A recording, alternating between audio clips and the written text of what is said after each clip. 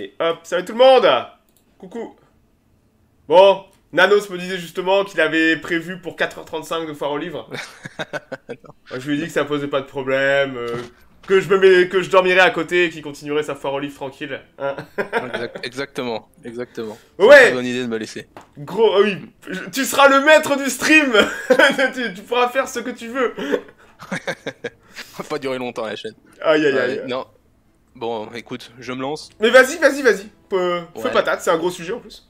Ouais, tout à fait. Ouais. J'allais dire, c'est, euh, ça va nous changer de la politique française, ça va être un peu moins triste, mais en Ouais. c'est un peu, Ouais, c'est un peu un sujet de la déprime quand même. c'est un, peu tra- c'est un peu tragique quand même tout ça. Hein Ouais, ouais, ouais. Je pense que, je pense que Byzance, ça parle à beaucoup de gens. Il y a beaucoup de gens qui aiment. euh, Enfin, c'est bizarre parce que c'est une civilisation qui est en même temps, euh, tu vois, très admirée pour ce qu'elle a pu faire, sa durée, tu vois, le côté un peu euh, étrange d'un truc qui dure de, de, de 400 à 1400 pour faire simple. On m'en voudra pas sur les dates. Et en même temps, c'est vachement méprisé puisqu'elle finit, euh, bah, elle finit euh, piteusement. Ah ça. Et nous, bah, c'est à ça qu'on va s'intéresser, à la fin piteuse de l'Empire. Euh, je pense que c'est intéressant de voir si c'était euh, inéluctable ou, ou pas, tu vois, voir si c'est pourquoi c'est arrivé et ce que ça devait arriver. Pour ceux que ça intéresse, on avait, Donc, on a, livre. on a- on avait fait une foire au livre sur la, on avait fait une foire au livre sur la, sur la chute de. Constantinople déjà. Mais là, c- Tout à fait. là, ça va être une vue plus globale et on va aller un peu plus, en- on va faire un gros retour en arrière pour voir comment on arrive, on arrive là quoi. C'est ça. Euh, c'est pour ça d'ailleurs que moi, ma foire, elle, va se- elle, elle commence au 1204, euh, forcément, et puis elle va s'arrêter en 1448, qui est en fait euh, l'arrivée sur le trône de, de Constantin XI de Dragazès, qui est le, le dernier empereur. Donc je vais pas du tout traiter du siège, qui est un sujet en soi, que j'aurais bien aimé traiter, mais qui a déjà été fait très bien, donc il n'y a pas de, y a pas de souci là-dessus, et je pense pas qu'il y ait besoin de, revenir sur le sujet, donc moi je vais m'arrêter avant. Euh, donc les deux bouquins, en soi, le bouquin de Pourquoi les mettre ensemble, en soi le bouquin que j'ai mis de, Nicole, euh, il est suffisant, il est un peu lacunaire, mais il est suffisant pour comprendre la situation et, les enjeux de l'époque. En fait, les Almogavres, euh, l'expédition des Catalans en Orient, euh, j'ai pensé que c'était intéressant aussi de le mettre pour les gens que ça peut intéresser, puisque c'est un peu euh, bah, un, un témoignage de, de l'époque. C'est une illustration de ce qu'est Byzance à cette époque-là pour un, pour un mec du 14e. Ah, c'est la- Et- l'aventure et le mercenariat. Mm, Tout à fait. Et c'est d'ailleurs, bah, pour en revenir à ça, c'est assez intéressant, même si c'est pas du mercenariat euh, pour le pour l'époque concernée. euh, c'est les mêmes motifs qui vont conduire les- quasiment les mêmes mecs, les, les Espagnols, au Nouveau Monde, à une époque euh, finalement peu différente, puisque c'est quasiment 200 ans plus tard. Mais c'est toujours le, monde de la paix pour des hommes qui sont des hommes de guerre, en fait. Là, on est dans un cadre un peu particulier, c'est-à-dire que la croisade est interdite hein, aux Espagnols depuis très longtemps, depuis Pascal II, et la Reconquista à cette époque-là est un petit peu en pause. Et donc, il n'y a plus de promotion socia- sociale pour les, mercenaires et autres, euh, et autres soldats de fortune, donc faut se tourner vers de nouveaux horizons. C'est valable en 1300, ça l'est aussi en 1500, donc c'est marrant de voir un peu les, similitudes entre, entre ces deux situations-là, où on a des types euh, à la fois pragmatiques puisqu'ils y vont pour la thune, et en même temps un peu irrationnels puisqu'ils y vont euh, vers un monde un peu, un, peu, un peu miraculeux, un peu fantasmé, que ce soit le Nouveau Monde ou l'Orient, qui à cette époque-là encore un peu, un peu méconnu. Quand on voit euh, Ramon Muntaner qui raconte certaines choses, tu sens que bon, il, maîtrise pas trop la géographie du point ni l'histoire du point. Je veux dire, pour lui, euh, Troyes, euh, c'est encore un truc euh, assez récent et c'était là. Donc euh, c'est assez, rigolo. Donc les deux auteurs, ils sont forcément très différents euh, des deux bouquins. Pour euh, situer rapidement, euh, Donald McGillivray Nicole, il est né en 23. Il est mort en 2003, donc ça fait quand même une vingtaine d'années. C'est un byzantiniste britannique euh, qui était prof euh, à l'université d'Édimbourg et à Londres. Euh, il a publié pas mal d'œuvres sur, euh, sur le sujet de la fin de l'Empire et sur le, le despotat des pires. Il n'y a pas beaucoup de ses œuvres par contre qui sont traduites en français, euh, c'est une des rares qui est, traduite. Ramon Muntaner, forcément, il est très différent.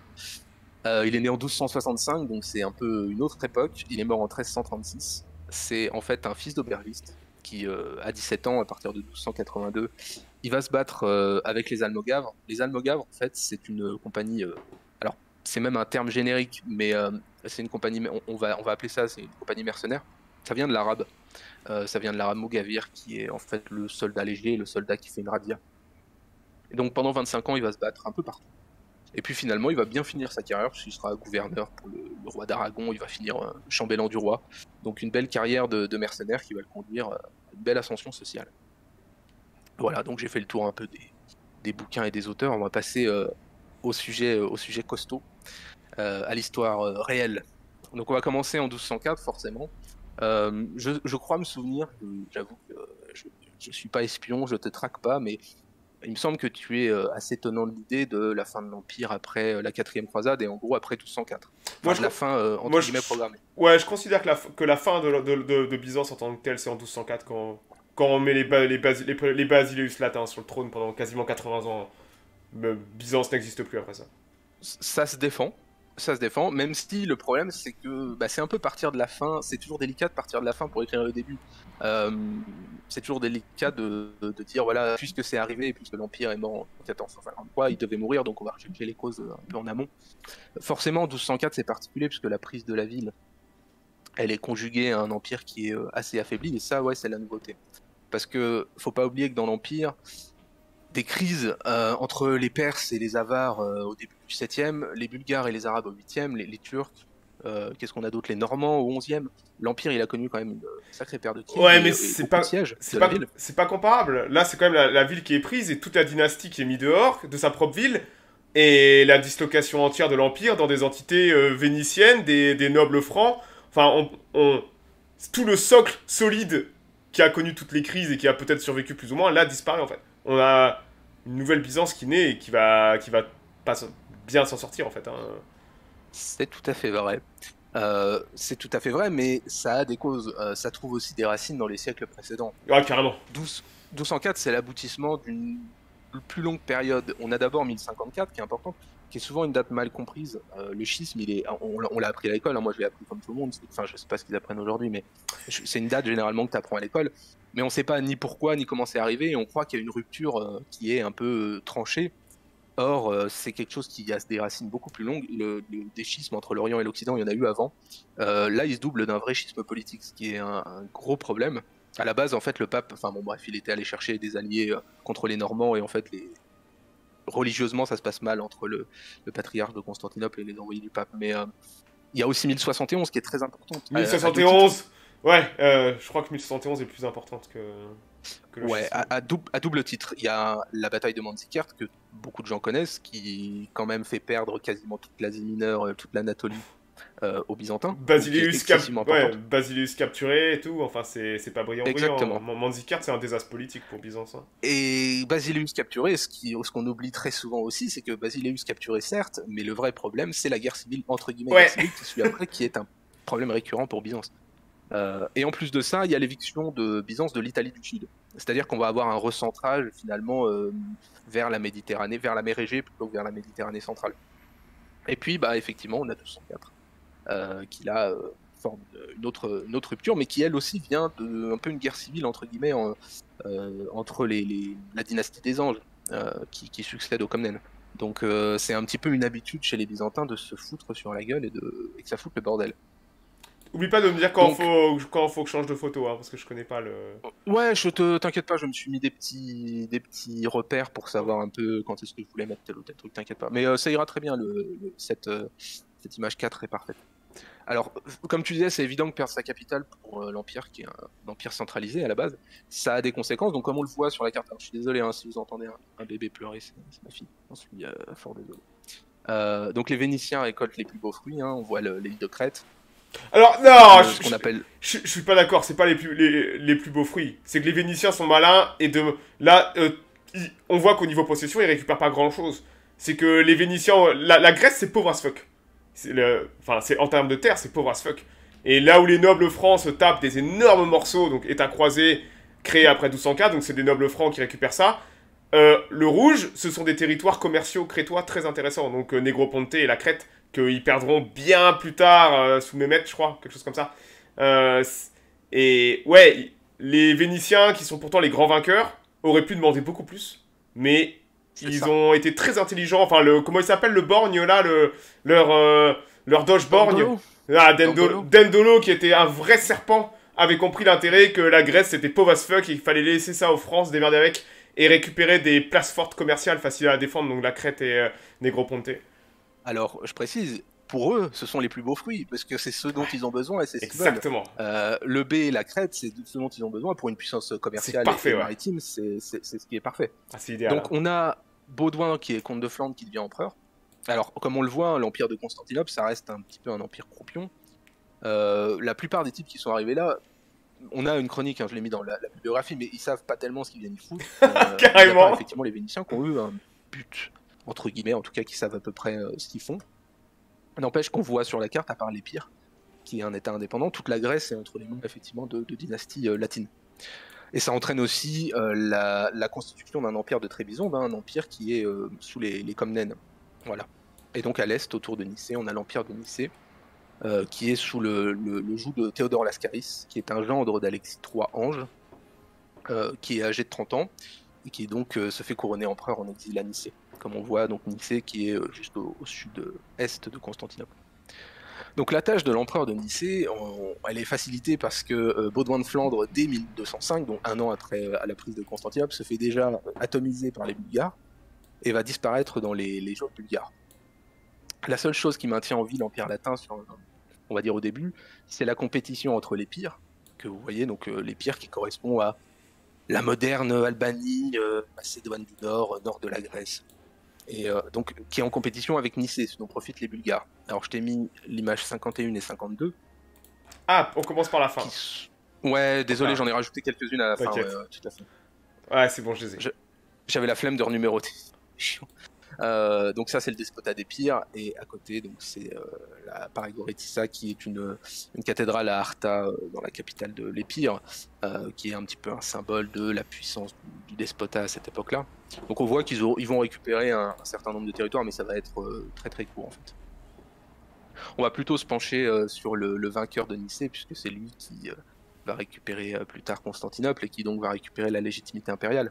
très clairement, Nicée, ça, on va dire, deux chances, c'est d'être plus proche de Constantinople, donc d'être plus proche un petit peu du, cœur du monde byzantin, et d'être plus proche aussi de la frontière orientale, ce qui est donc idéal pour continuer à combattre les Seljukides et entretenir, on va dire, une capacité martiale. C'est important d'avoir des gens contre qui se battre euh, quand tu veux la former une armée. Ça paraît un peu logique, euh, mais euh, bon. Donc Lascaris, Théodore Lascaris, il va réunir très vite ce qui reste de, l'Asie mineure impériale, et bah, les croisés et les Seljukides vont devoir se rendre compte on a du côté de, de la Turquie euh, un, challenger sérieux. Euh, pour autant, les premiers succès effectifs, comme je te disais sur l'image précédente, ils sont du côté du, du despotat des euh, qui reprend notamment Thessalonique, ce qui est quand même assez important, qui fait couronner empereur là-bas.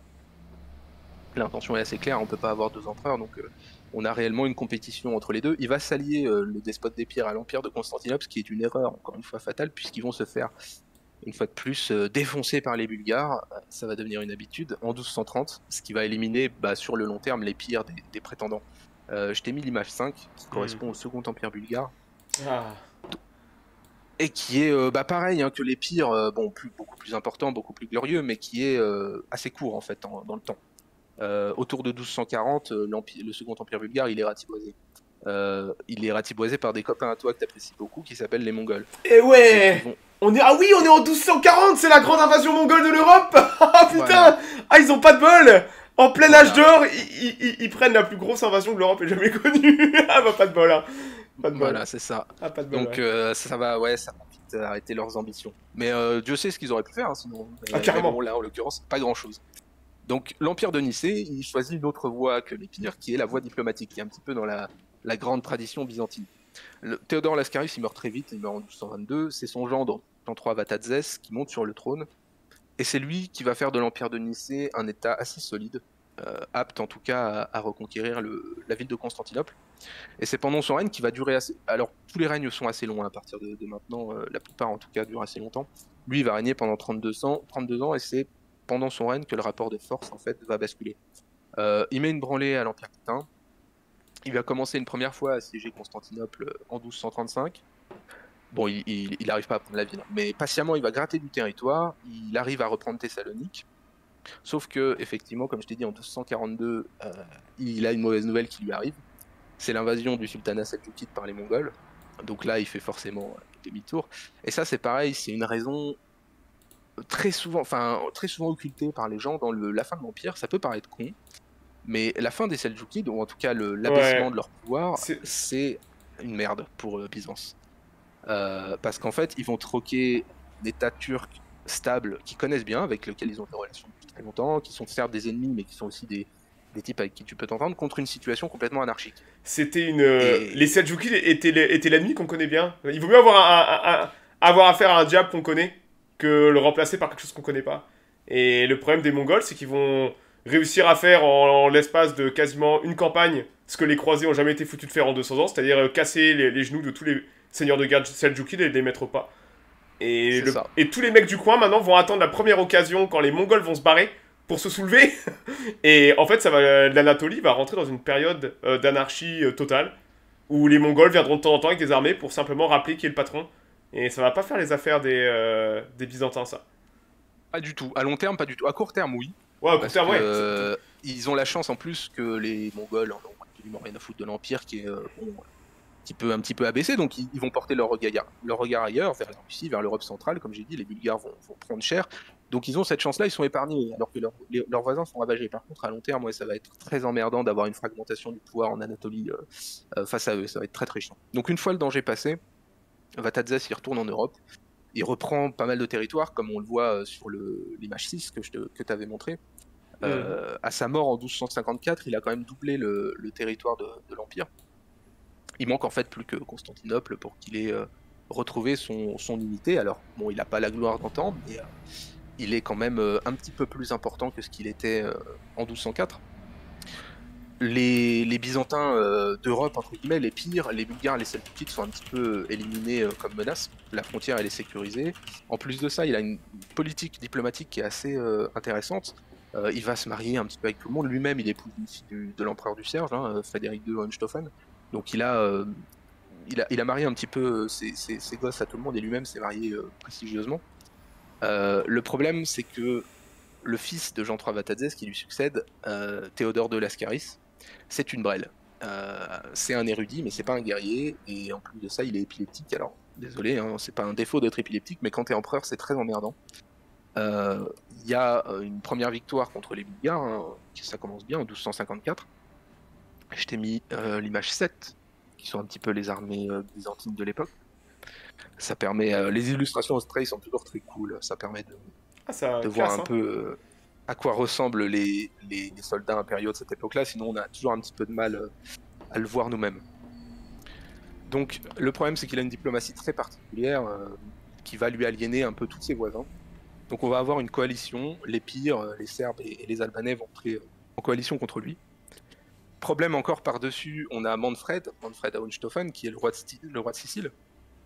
Il a des ambitions en Grèce, et il a euh, un casus belli, puisque sa sœur, donc l'ex-femme de son père, Jean-François Vatadzès, de, père de l'empereur, elle est retenue contre son gré à Nicée. Donc il fournit son appui au despote des pires. Et euh, donc Michel, en plus de ça, le despote d'Épire, reçoit l'appui du prince d'Achaïe, donc du prince franc d'Achaïe, euh, descendant des, seigneurs de 1204, Guillaume de Villehardouin. C'est donc bah, toute la Grèce, euh, la Serbie et la Sicile qui tombent sur l'empire de Nicée. Théodore II, à cette époque, il est en rupture complète avec son aristocratie, mais il a la chance, la chance pour l'empire et la malchance pour lui, de mourir en août 1258, avant qu'une révolte n'éclate contre lui. Et donc se retrouve nommé comme régent un jeune aristocrate qui va euh, bah, fonder une dynastie qui va régner jusqu'à la fin de l'Empire, qui est Michel Paléologue. Il est euh, alors issu de la, haute aristocratie, et puis surtout c'est un conspirateur de longue date contre, contre l'empereur. Donc euh, on le nomme régent parce que le régent précédent a été assassiné par des mercenaires latins qui commandaient. Donc il est très certainement à l'origine de l'assassinat, et bon, c'est un complot voilà, pour l'installer à la tête du pouvoir. Et finalement, il est nommé co-empereur, donc Michel VIII Paléologue, en même temps que Jean IV Lascaris, qui est le fils donc, de l'empereur précédent. Donc on se retrouve avec deux empereurs, ça arrivera très souvent, il hein, n'y a rien d'étonnant à ça, mais euh, en fait on a deux co-empereurs. Euh, je t'ai mis l'image 53 qui est une représentation de, Michel VIII paléologue. Mhm. Après, euh, avec le réalisme du temps, hein, donc bon, c'est pas, voilà, pas parfait.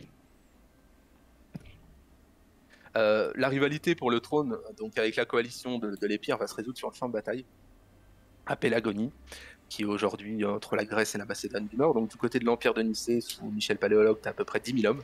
Alors c'est quasiment que des mercenaires à cette époque-là. Et de l'autre, eh ben, tu as une coalition qui va se désagréger. Le despote des pires décide de la quitter. Les chevaliers francs et allemands qui sont venus euh, vont se faire euh, défoncer, hein, tout simplement. Et bah, Michel va remporter une grande victoire qui lui permet d'asseoir son pouvoir. Ça lui permet de passer à sa la seconde phase du plan, la reconquête de Constantinople. Pour ce faire, il va signer un traité avec Gênes pour récupérer des, bateaux.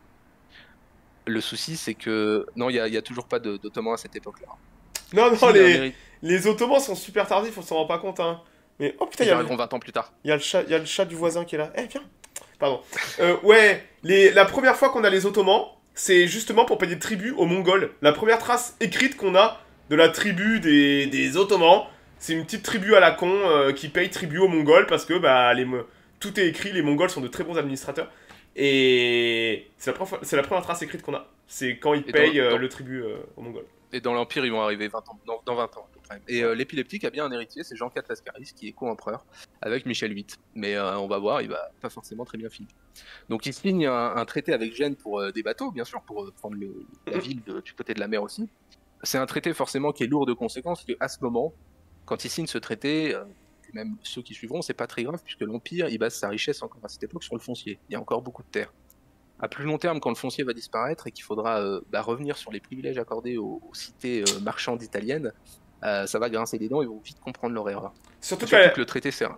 Tous les, tous les empereurs font moitié-moitié. C'est-à-dire que soit vous prenez le camp, soit vous êtes un. C'est Venise et Gênes qui font, qui font et défont aussi les empereurs. Hein, d'un point de vue. dans la politique de Byzance, généralement, ils, soutiennent jamais le même empereur. Pour des raisons logiques, que si vous êtes pro-vénitien, vous pouvez pas, pas être pro-génois. Ils se détestent euh, farouchement. Et bah, soit vous prenez le parti de l'un contre l'autre, soit et vous allez recevoir l'argent, vous allez avoir les galères, vous allez avoir un énorme soutien. C'est Venise et Gênes qui font la pluie et le beau temps en Méditerranée à cette époque. Hein. C'est et, entre autres, ça va être récurrent. Ouais. Ça va être récurrent à partir des surtout des paléologues. encore avant ça, l'empereur a le pouvoir, même même les Comnènes ont encore le, pouvoir pour s'y opposer, mais euh, par la suite, euh, ça va devenir ouais, très compliqué. Et qui a fini bien dans l'Empire byzantin? Beaucoup de gens, euh, dont quasiment tous les paléologues vont mourir de leur plus belle mort. C'est pas les meilleurs empereurs, mais oui, ils vont régner très longtemps et vivre très vieux. Mais bon, c'est comme ça, on choisit pas. Euh, du coup, en juillet 1261, Michel VIII il envoie un de ses généraux en Thrace, et ce dernier apprend par hasard en fait que la garnison des croisés et leur flotte, elle s'est barrée. Donc en pleine nuit, il va prendre ses petites échelles, il va prendre aussi un passage secret dans la dans muraille et finalement, bah, il va tomber à l'improviste sur la garnison et il reprend la ville par quasiment hasard le 25 juillet 1261, sans siège, sans quoi que ce soit, juste en s'introduisant euh, euh, subrepticement dedans euh, de nuit. Donc Baudouin II, qui est l'empereur, se barre en bateau et Michel VIII prend possession de la ville.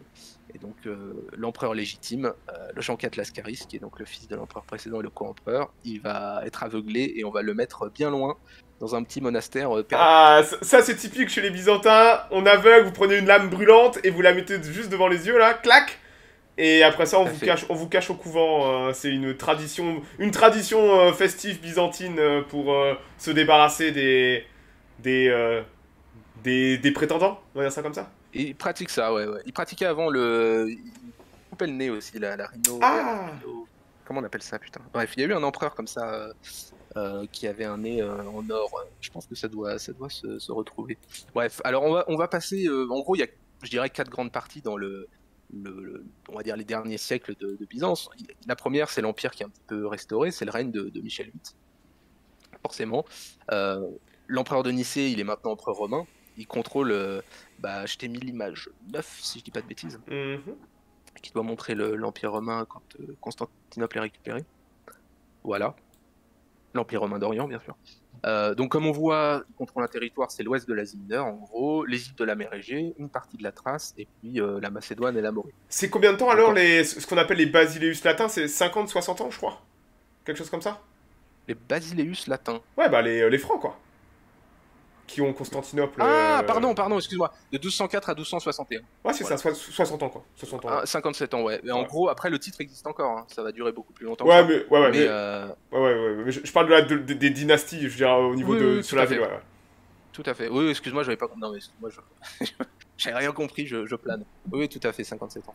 Euh, donc en Asie mineure, en fait, les problèmes sont toujours les mêmes. Hein. En Asie mineure, on a toujours plusieurs centaines de kilomètres qui doivent être défendus. Les Serbes sont toujours là, les Bulgares sont, quand même là, les marchands vénitiens et génois, ils contrôlent toujours le commerce. Euh, donc on a, on a toujours les mêmes, mêmes difficultés. La ville, elle est passablement ruinée, on va dire. Tu as des quartiers entiers euh, qui, qui, sont, qui ont jamais été reconstruits, tout simplement. Et les palais impériaux, ils sont inhabitables. La muraille de la ville, pareil, elle est délabrée. La ville, elle est pas vide, mais elle est quand même, elle ressemble plus à des villages séparés qu'à une vraie ville complète. Après, il y a encore sans doute largement plusieurs dizaines de millions d'habitants. Est milliers d'habitants, on est sans doute pas loin des 100 000 encore à l'époque. Mais par rapport à ce que ça a été, ça fait, ça fait une petite différence. Le problème de tout ça, récupérer la ville, c'est que ça a un coût. Donc ça va littéralement euh, bah, vider les coffres qui étaient euh, remplis jusque-là. Euh, donc dans les faits, on voit que c'est pas le retour du Grand Empire. On a, on a quand même, en fait, l'entretien de la, capitale et sa défense, ça peut se faire en faisant raquer la province. Et bah, ça va se faire notamment au détriment de la défense de l'Asie mineure. À long terme, reprendre Constantinople, ça va être bah, finalement pas qu'un, pas qu'une grande bénédiction. Ce sera, ce sera pas parfait.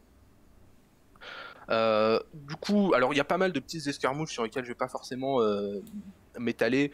Euh, je t'ai mis l'image 11, si je dis pas de, mm. bêtises.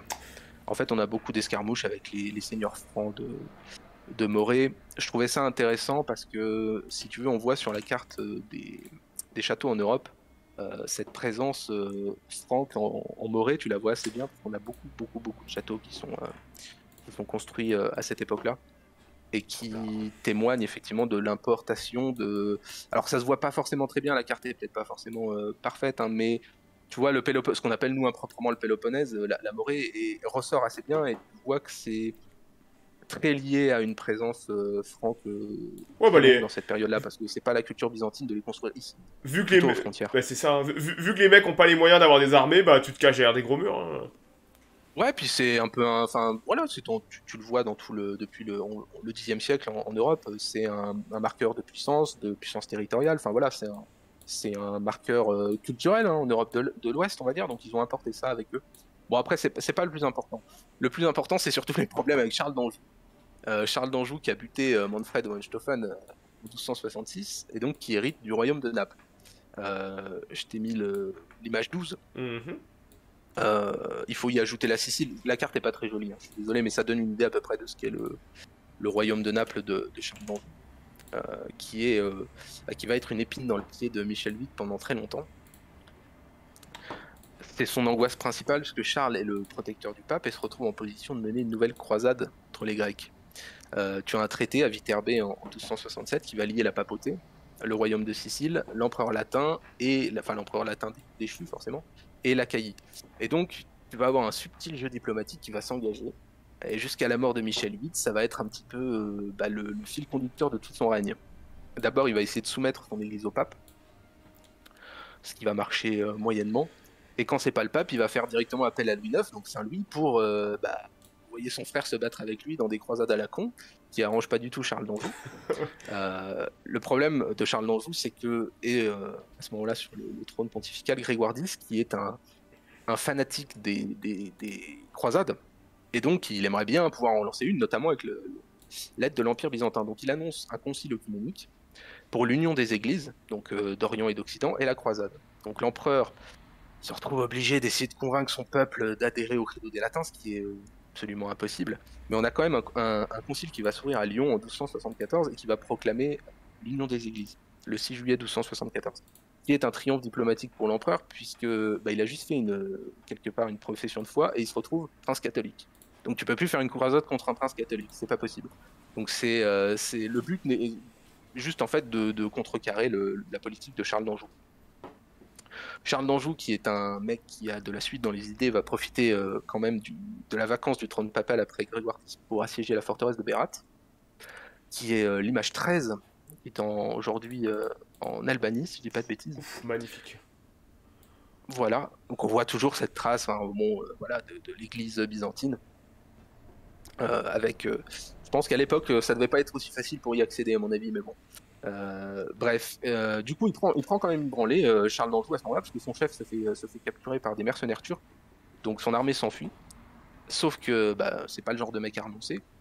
il arrive à faire élire Martin IV, un pape français, sur le trône, qui est un pape à son service qui va excommunier Michel VIII. Donc c'est officiellement au bout de à peine 7 ou 8 ans la fin de l'union des églises déjà.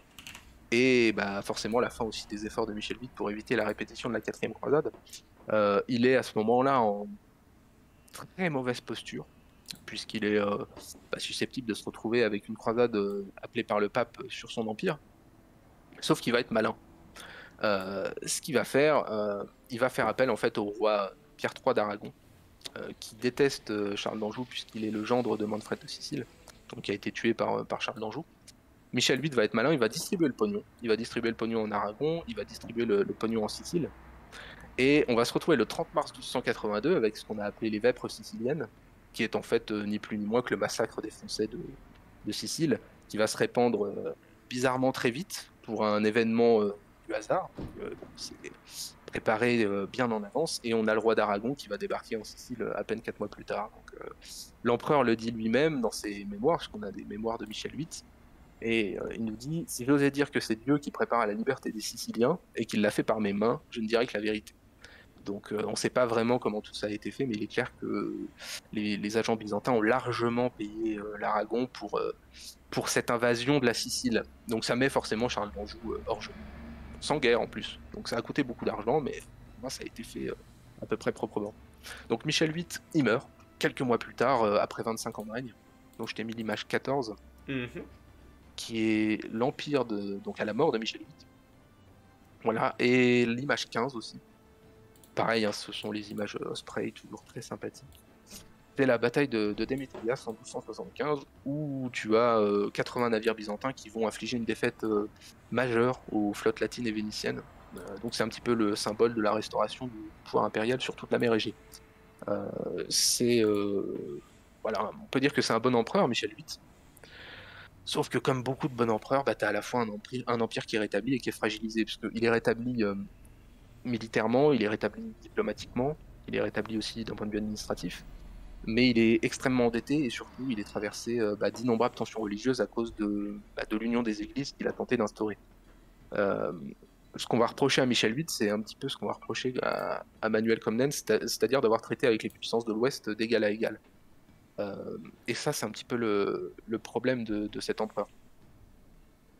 C'est-à-dire que ce qu'on lui reproche, c'est pas forcément son usurpation du trône, euh, il n'est pas le premier à le faire. Euh, ce qu'on lui reproche, c'est surtout d'avoir transigé avec la foi. Et le souci, c'est que d'avoir fait ça, ben, pendant 50 ans, ça va devenir un sujet tabou à Constantinople. Alors que l'Empire avait justement besoin de l'aide et de la coopération de l'Occident pour survivre. Et faire ce choix-là, c'était pas le, meilleur.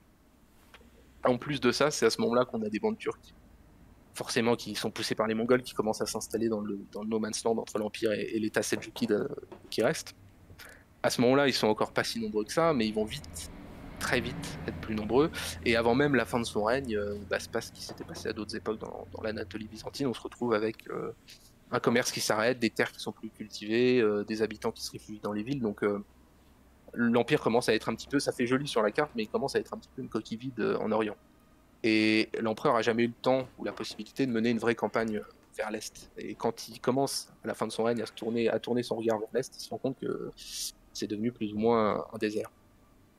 Donc juste avant sa mort, il désigne son fils, Andronique, comme successeur, et Michel VIII, il est enterré à la va-vite dans un coin, puisque c'est un hérétique romain. Donc il finit euh, malheureusement pour lui à la fois excommunié par le pape et hérétique pour son propre peuple. Donc euh, ça finit euh, assez mal et assez tristement pour lui. Donc on va passer au, second, règne des paléologues, et qui est un petit peu bah, malheureusement l'empire qui devient une puissance de second rang sous le règne d'Andronique II paléologue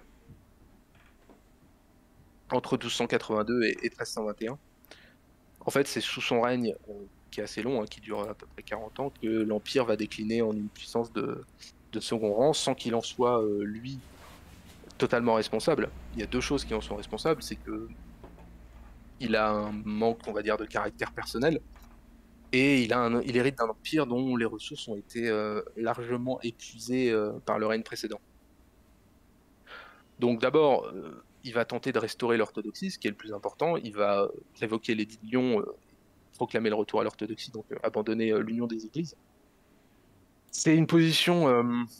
la religion, c'est pas forcément ce qu'il y a de, plus passionnant, et il n'y a pas forcément de bonne solution pour l'empire de ce point de vue-là, puisque l'identité orthodoxe, ça les lie à d'autres orthodoxes qui sont certes des ennemis, hein, la Serbie et la Bulgarie, qui les aident pas et qui peuvent même les détruire. Mais abandonner cette identité orthodoxe-là pour le, catholicisme, ça revient quasiment à dissoudre l'Empire dans des troubles.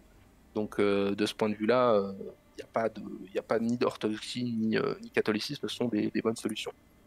du coup, je t'ai mis l'image 16, mm-hmm. qui est l'église Saint-Jean de Canéo au bord du lac Toride. C'est un petit peu pour symboliser le, ça symbolise, je trouve, l'orthodoxie, le côté un peu mystique de la chose. Au bord du lac, il y a toujours, il y a toujours ça euh, chez les, chez les Byzantins, il y a toujours cette, cet esprit-là, je trouve. Oh, c'est classe, hein Donc, ouais, ouais, ouais, ça, ça a l'air, ça a l'air très joli. Ouais. J'ai jamais foutu les pieds, c'est en Macédoine, je pense que je vais pas, je vais peut-être pas y aller, mais euh, en tout cas, c'est très très joli, ouais. Donc, malgré que le règne d'Andronique II soit celui du déclin, euh, son accession, elle se passe dans un empire qui est restauré et qui a retrouvé une unité religieuse. Euh, le souci, c'est que lui, euh, il a l'envie de multiplier les restrictions budgétaires pour que l'Empire retrouve un petit peu de pognon. Donc ça va se faire au détriment de choses qui sont très importantes. Euh, l'armée, ça compte un petit peu à l'époque. La marine aussi. La marine. La, marine, c'est ce qui coûte le plus cher. Genre vraiment avoir une, avoir une flotte de guerre, et je parle pas de 10 galères, mais peut-être de 60, 70, 80. Il y a quasiment personne en Europe qui peut se payer ça. Et ça coûte incroyablement cher. Lever des mercenaires, vous, vous trouvez du pécor à qui mettre un flingue, hein. ou un flingue, pas à l'époque, mais euh, une épée ou une lance. Une lance surtout. Mais des galères de guerre, ça coûte cher. C'est pour ça, que, ça que vous, vous, louez à Venise ou, à Gênes, quoi.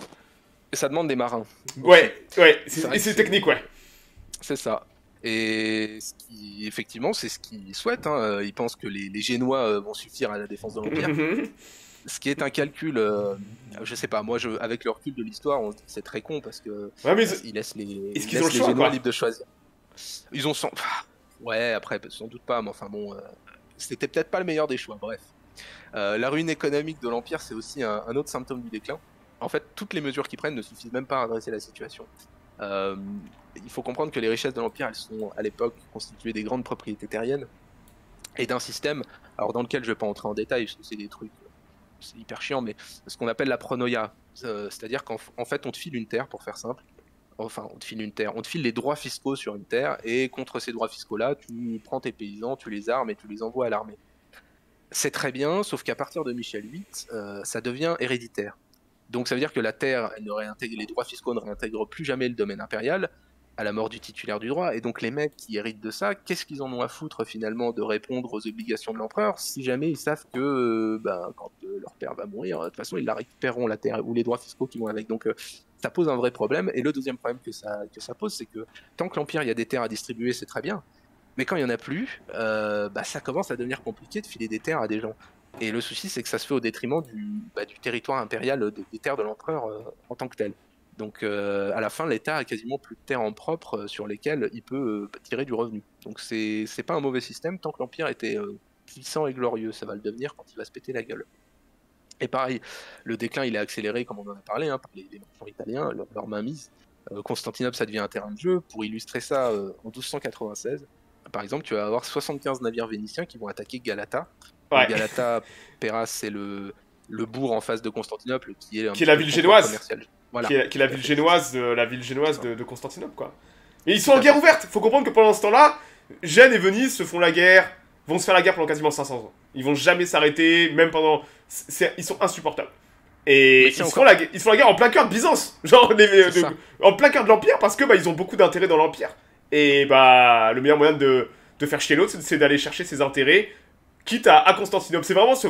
à quel point bah, le Constantino ne, fait plus respecter la loi en fait dans ses propres frontières quoi.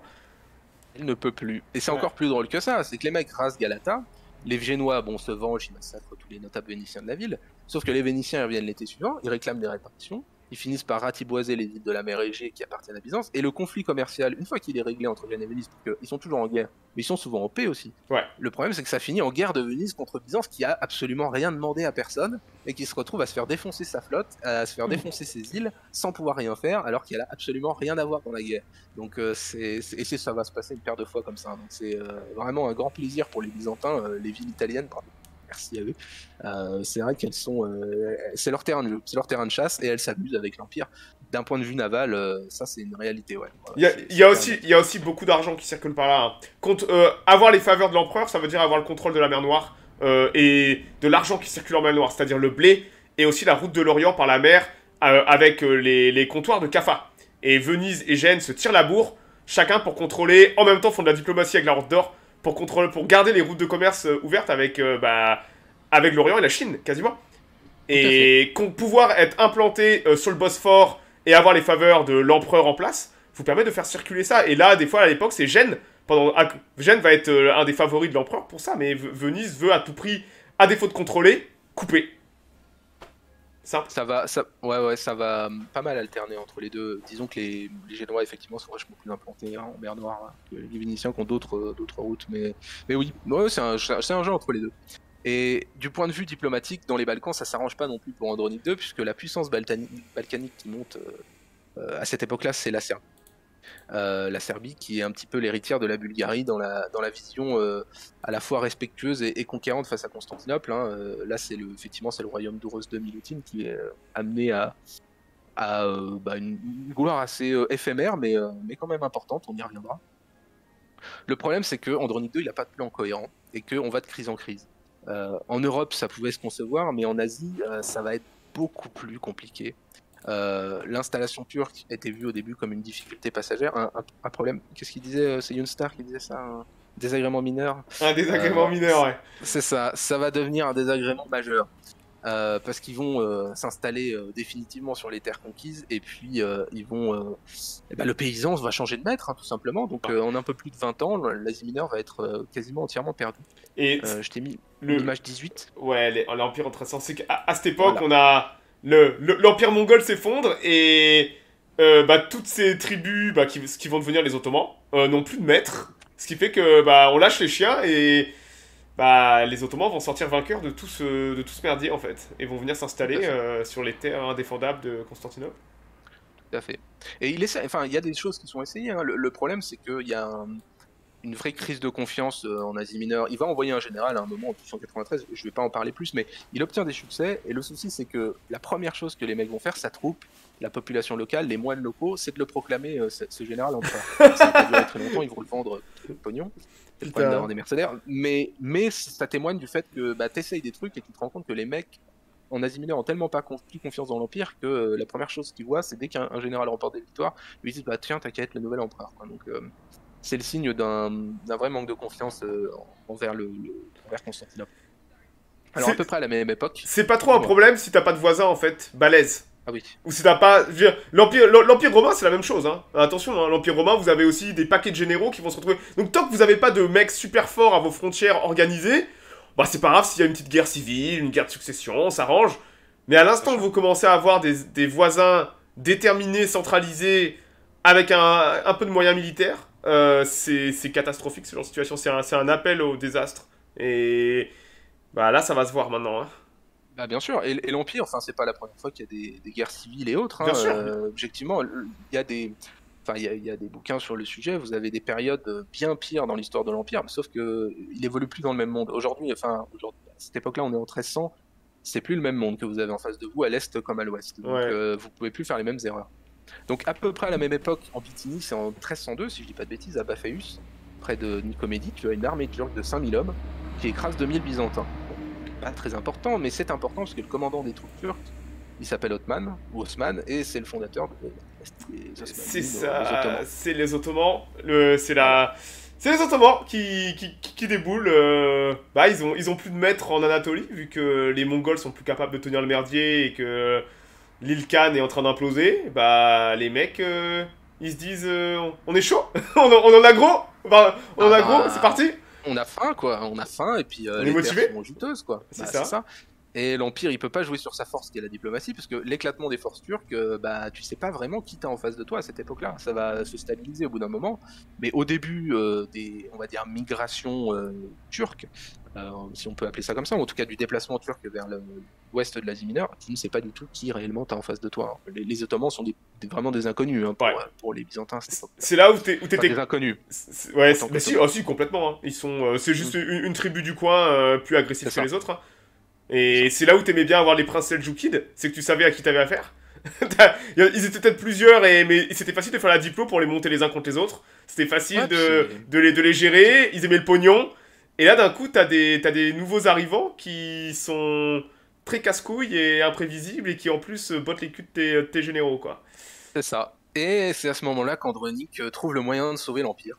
On en vient à mon deuxième bouquin présenté. Euh, donc la compagnie catalane, qui est sous les ordres de Roger de Flore, euh, qui combattait à l'époque en Sicile pour, euh, pour Frédéric III contre Charles de Danjou, se retrouve sans emploi.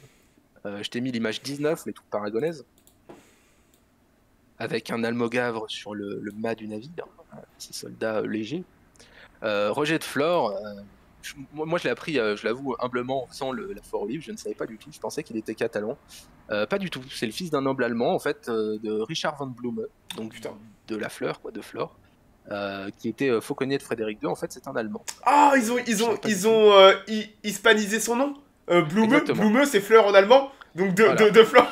Génial. Putain, non mais les, les, le, mercenariat à l'époque, enfin... Alors, ouais, on n'est pas dans l'âge du mercenariat encore, on est un peu tôt, mais...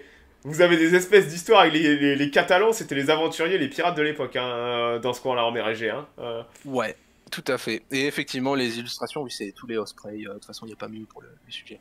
Euh, du coup, donc euh, c'est euh, Roger de Flore, c'est un sacré personnage parce que c'est un capitaine, c'est un Templier défroqué aussi, c'est un ex-Templier qui a renoncé à l'ordre, qui a fait fortune en évacuant des notables d'Acre sur son bateau. C'est un mercenaire, c'est un vice-amiral de Sicile, et donc il se retrouve sans boulot après la paix entre les Angevins et les, Aragonais. Et la paix, bah, c'est pas une bonne période pour lui, puisque au-delà du fait que tu te fais fric, il a des grosses emmerdes de pirates et de, Templiers défroqués. Donc il propose ses services à l'empereur. L'empereur accepte euh, toutes ces conditions. Il se retrouve avec des conditions euh, fabuleuses, double de la solde de tous les, autres mercenaires, 4 mois d'avance de paiement, le titre de mégaduc. Alors mégaduc, c'est euh, c'est le quatrième rang impérial, c'est censé être le commandant de la flotte byzantine. La main de la nièce de l'empereur aussi. Putain, ça va, ça va. Ça montre que le mec, est le mec est désespéré en face. Hein. Tu m'étonnes que les généraux, les généraux et les soldats byzantins de base, ils grinçaient des dents en voyant arriver ce genre de mec qui siphonnait le trésor, quoi. Ah bah, ils le siphonnent bien. Euh, mais il faut comprendre qu'ils ont une certaine réputation aussi. Hein. C'est pas des inconnus, hein, les types. Euh, tu les payes cher et t'en espères beaucoup. Donc arrive à ce moment-là à peu près 6000 hommes avec leurs femmes et leurs gosses, dont euh, le chroniqueur Ramon Muntaner. bon, comme on a dit, hein, l'usage de mercenaires dans le monde et d'autant plus à Byzance, c'est quand même une longue tradition. Euh, les Catalans, c'est ni les premiers ni les derniers à être payés en or et en titre ah, pour faire euh, leur boulot. Après, leur aide a du sens. Hein. Euh, c'est une troupe de guerriers aguerris, déjà contre les Turcs, et c'est aussi une bonne troupe de marins à opposer aux puissances italiennes. les Génois sont pas spécialement contents de les voir arriver. Le premier truc d'ailleurs qu'ils font le soir des noces de Roger de Flore, c'est de dégorger plusieurs centaines de Génois dans la ville, les Catalans. Donc c'est pour dire l'ambiance, ils s'adorent. Euh, cela dit, ils vont faire preuve, donc euh, effectivement, tu as mis l'image 20 qui est un petit peu le, bah, quel périple des Catalans euh, dans toute l'Asie mineure. ils vont faire preuve d'une vraie efficacité contre les Turcs. ils vont faire lever le siège de Sisik, ils vont faire lever le siège de Philadelphie. Ils mettent, après ça vous pouvez aller chercher sur Wikipédia, hein, mais ils mettent branlé sur branlé aux Turcs. Vraiment à un contre 3, à un contre tout ce que tu veux, ils, ils les éclatent. Il y a un côté, il y a un côté première croisade un peu dans tout ça. C'est-à-dire que les Turcs, euh, un peu comme, euh, un peu comme à l'époque des premières croisades, doivent faire face à des méthodes qu'ils connaissent pas forcément, euh, puisque les Almograves ont une façon de se battre qui est très particulière. C'est à la fois une infanterie très légère, donc très rapide, mais c'est aussi une infanterie de choc en même temps, ce qui est très bizarre pour eux parce qu'ils se retrouvent avec des mecs qui vont aussi vite qu'eux et qui en plus leur tombent dessus et n'ont pas peur de se battre au corps à corps. Donc c'est assez, assez particulier. Donc ils font leur petit trip pendant un an. Euh, l'empereur les fait revenir à Gallipoli, puisqu'il y a les Bulgares qui commencent à être menaçants euh, en face. On commence à se dire euh, qu'on n'a plus besoin d'eux, puisque les Bulgares se font battre par Michel IX, qui est le, fils de Andronic II. Donc on se dit qu'on les a fait revenir un peu pour rien et on va les faire dégager. Sauf que bah, ils ont pas spécialement envie de partir, ils ont bien envie d'être payés encore plus, les, les Donc pour amadouer Roger de Flore, Andronic va le nommer César. Alors là, tu peux pas faire plus. César, putain. Voilà. Et il lui file du fric et il lui dit, alors du fric, euh, de la monnaie de singe, et puis il lui dit, euh, bah, en gros, euh, dégage, va te tailler une principauté en Asie si t'as envie, mais laisse-nous tranquille. Pour finir le bordel, Roger de Flore, il décide d'aller voir Michel IX, donc le fils de l'empereur, qui déteste les Catalans. Alors, il les déteste, Montaner dit qu'il les déteste pour leur succès, hein, que Michel IX aurait préféré perdre l'Empire que de les voir remporter une victoire. Et Roger de Flore se fait buter par le chef des Alains, donc le chef des mercenaires Alains, avec plusieurs dizaines d'hommes de sa suite. Et là, grossière erreur de Michel Neuf, ça va déchaîner un bordel sans nom. Euh, ils vont faire payer l'affront au centuple. Les Almogaves vont piller toute la trace, euh, à tel point euh, que l'entrée des Catalans sur le mont Athos, donc le haut lieu spirituel des, des orthodoxes en Grèce, euh, elle est interdite jusqu'à l'an 2000. D'accord. Pour dire à quel point ils ont laissé un souvenir sympathique aux habitants du coin. Michel Neuf va tenter de les déloger deux fois, les Almogaves, il va se faire éclater deux fois. Je cite encore une fois Montaner, parce que c'est bah, lui-même est conscient de ce qu'ils font. Euh, je le cite, ils eurent en même temps et les Turcs et nous, qui épuisâmes toute la Romanie. Car réception faite des villes de Constantinople, Andrinople, Christopolis et Salonique, il n'y eut ni cité, ni bourg, ni toute autre place que nous n'ayons mis à feu et à sang, nous dominâmes et ravageâmes tout l'Empire à notre guise. Donc euh, il est conscient de- des ravages qu'il commet, ils font faire ça pendant deux ans, Putain, deux et puis euh, bah, voyant qu'il n'y a plus rien à piller, ils décident de migrer vers l'ouest. Et ils vont terminer leur, euh, leur périple en Grèce, où euh, en fait le duc d'Athènes, qui est un, un descendant de front, Gauthier de Brienne, C'est pas le roi va des- faire exactement. c'est pas le roi d'Espagne à l'époque, euh, le, le duc d'Athènes ou Non. un truc comme ça Ce sera plus tard. Ça plus tard, ok. Euh, ouais, ce sera plus tard. En fait, il va faire exactement la même erreur que l'Empire. Euh, il va tenter d'utiliser les Almogaves euh, à son bénéfice, donc il va les faire se battre en Grèce contre la Thessalie et les Pires. Puis quand il va vouloir les faire dégager, il va se faire pulvériser et ouais. décapiter par les Almogaves.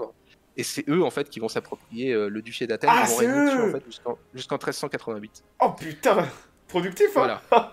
ouais, tout à fait, Euh, tout à fait. Mais je suis pas sûr qu'ils aient perdu une bataille. hein. Je crois qu'ils ont mis des branlées vraiment tout le monde. Et euh, vous pouvez regarder les chiffres, c'est toujours au moins un contre deux. C'est Ouais. assez incroyable ce qu'ils vont faire vraiment. Les C'est- co- compagnies de mercenaires qui est avec que des chiens de guerre dedans qui font qui ont fait ça toute leur vie quoi. Euh, C'est ça, c'est ça. Il y a une vraie, je sais pas, enfin voilà, donc quand vous lisez la chronique, il y a, il y a une vraie solidarité entre eux. Enfin voilà, ils sont, ils sont, ils sont assez, euh, assez sympathiques, même si euh, ils sont dégueulasses hein, dans ce qu'ils font réellement. hein. C'est, c'est, euh, c'est des esclavagistes, c'est des assassins. Enfin, je veux dire.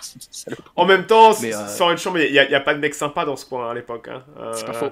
Il y a pas de mecs sympas. Hein c'est tous des gros bois. Mon tropisme byzantin fait que ça me fait mal au cœur de les avoir vu faire ça quand même, parce qu'ils vont le démonter l'empire. Euh, faut comprendre qu'en un an, euh, enfin sur, sur la durée de leur, euh, de leur périple, ils vont toucher le revenu annuel de l'empire. Donc ils vont toucher un million de ce qu'on appelle les, les hyperpairs, donc qui est le, revenu impérial, enfin la monnaie impériale à l'époque, qui est, à court.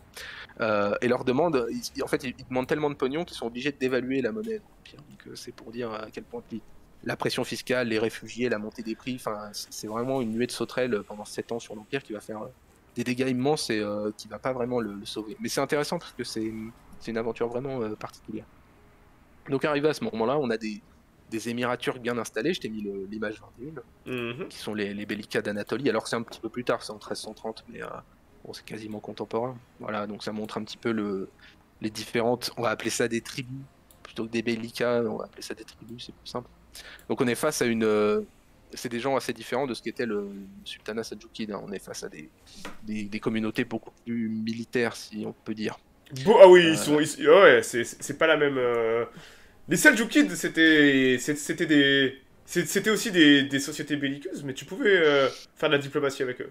Oh oui, ah mais c'est des, enfin, ils- ils vont là- en relation avec l'Empire pendant très longtemps, hein, les Seljukides, c'est des, copains, hein, enfin on se bat un peu de temps en temps, on fait une petite bataille, mais euh, c'est des gens avec qui on s'entend et, et on les comprend. Euh, là, ils sont beaucoup plus... Ils sont beaucoup plus. Ils sont beaucoup plus belliqueux en fait. beaucoup Ouais. plus belliqueux. Ouais, ouais, ouais. Les, plus, les, les, clairement. les Mongols ont pas aidé. Hein. Euh, les Mongols ont amené Ah, un, un art de la guerre aussi. On, a- on se sont débarrassés des Seljukides.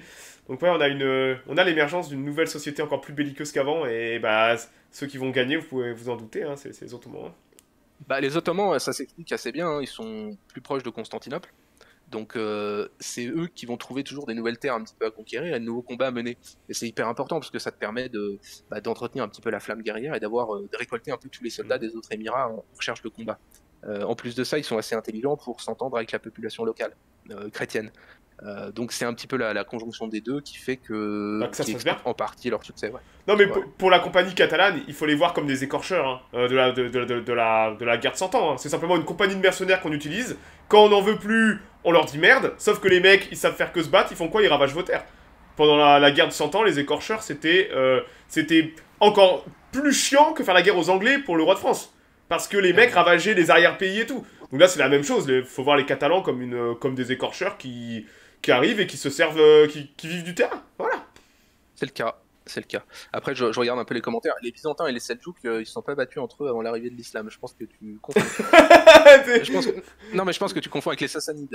ouais, les, les Sassanides. Hein. C'est les Sassanides. Hein. Euh, oui, d'ailleurs, c'est grâce à cette guerre énorme, je crois, de, de 30 ans que, que les qu'on a eu euh, l'émergence des Mahométans. Sinon, les Bédouins seraient jamais sortis de leur désert. Si c'est con, c'était pas. J'en ferai une J'en ferai une petite foire livre, je pense. Je pense que je ferai une foire livre sur cette période et Héraclius, c'est assez intéressant. Quelle catastrophe!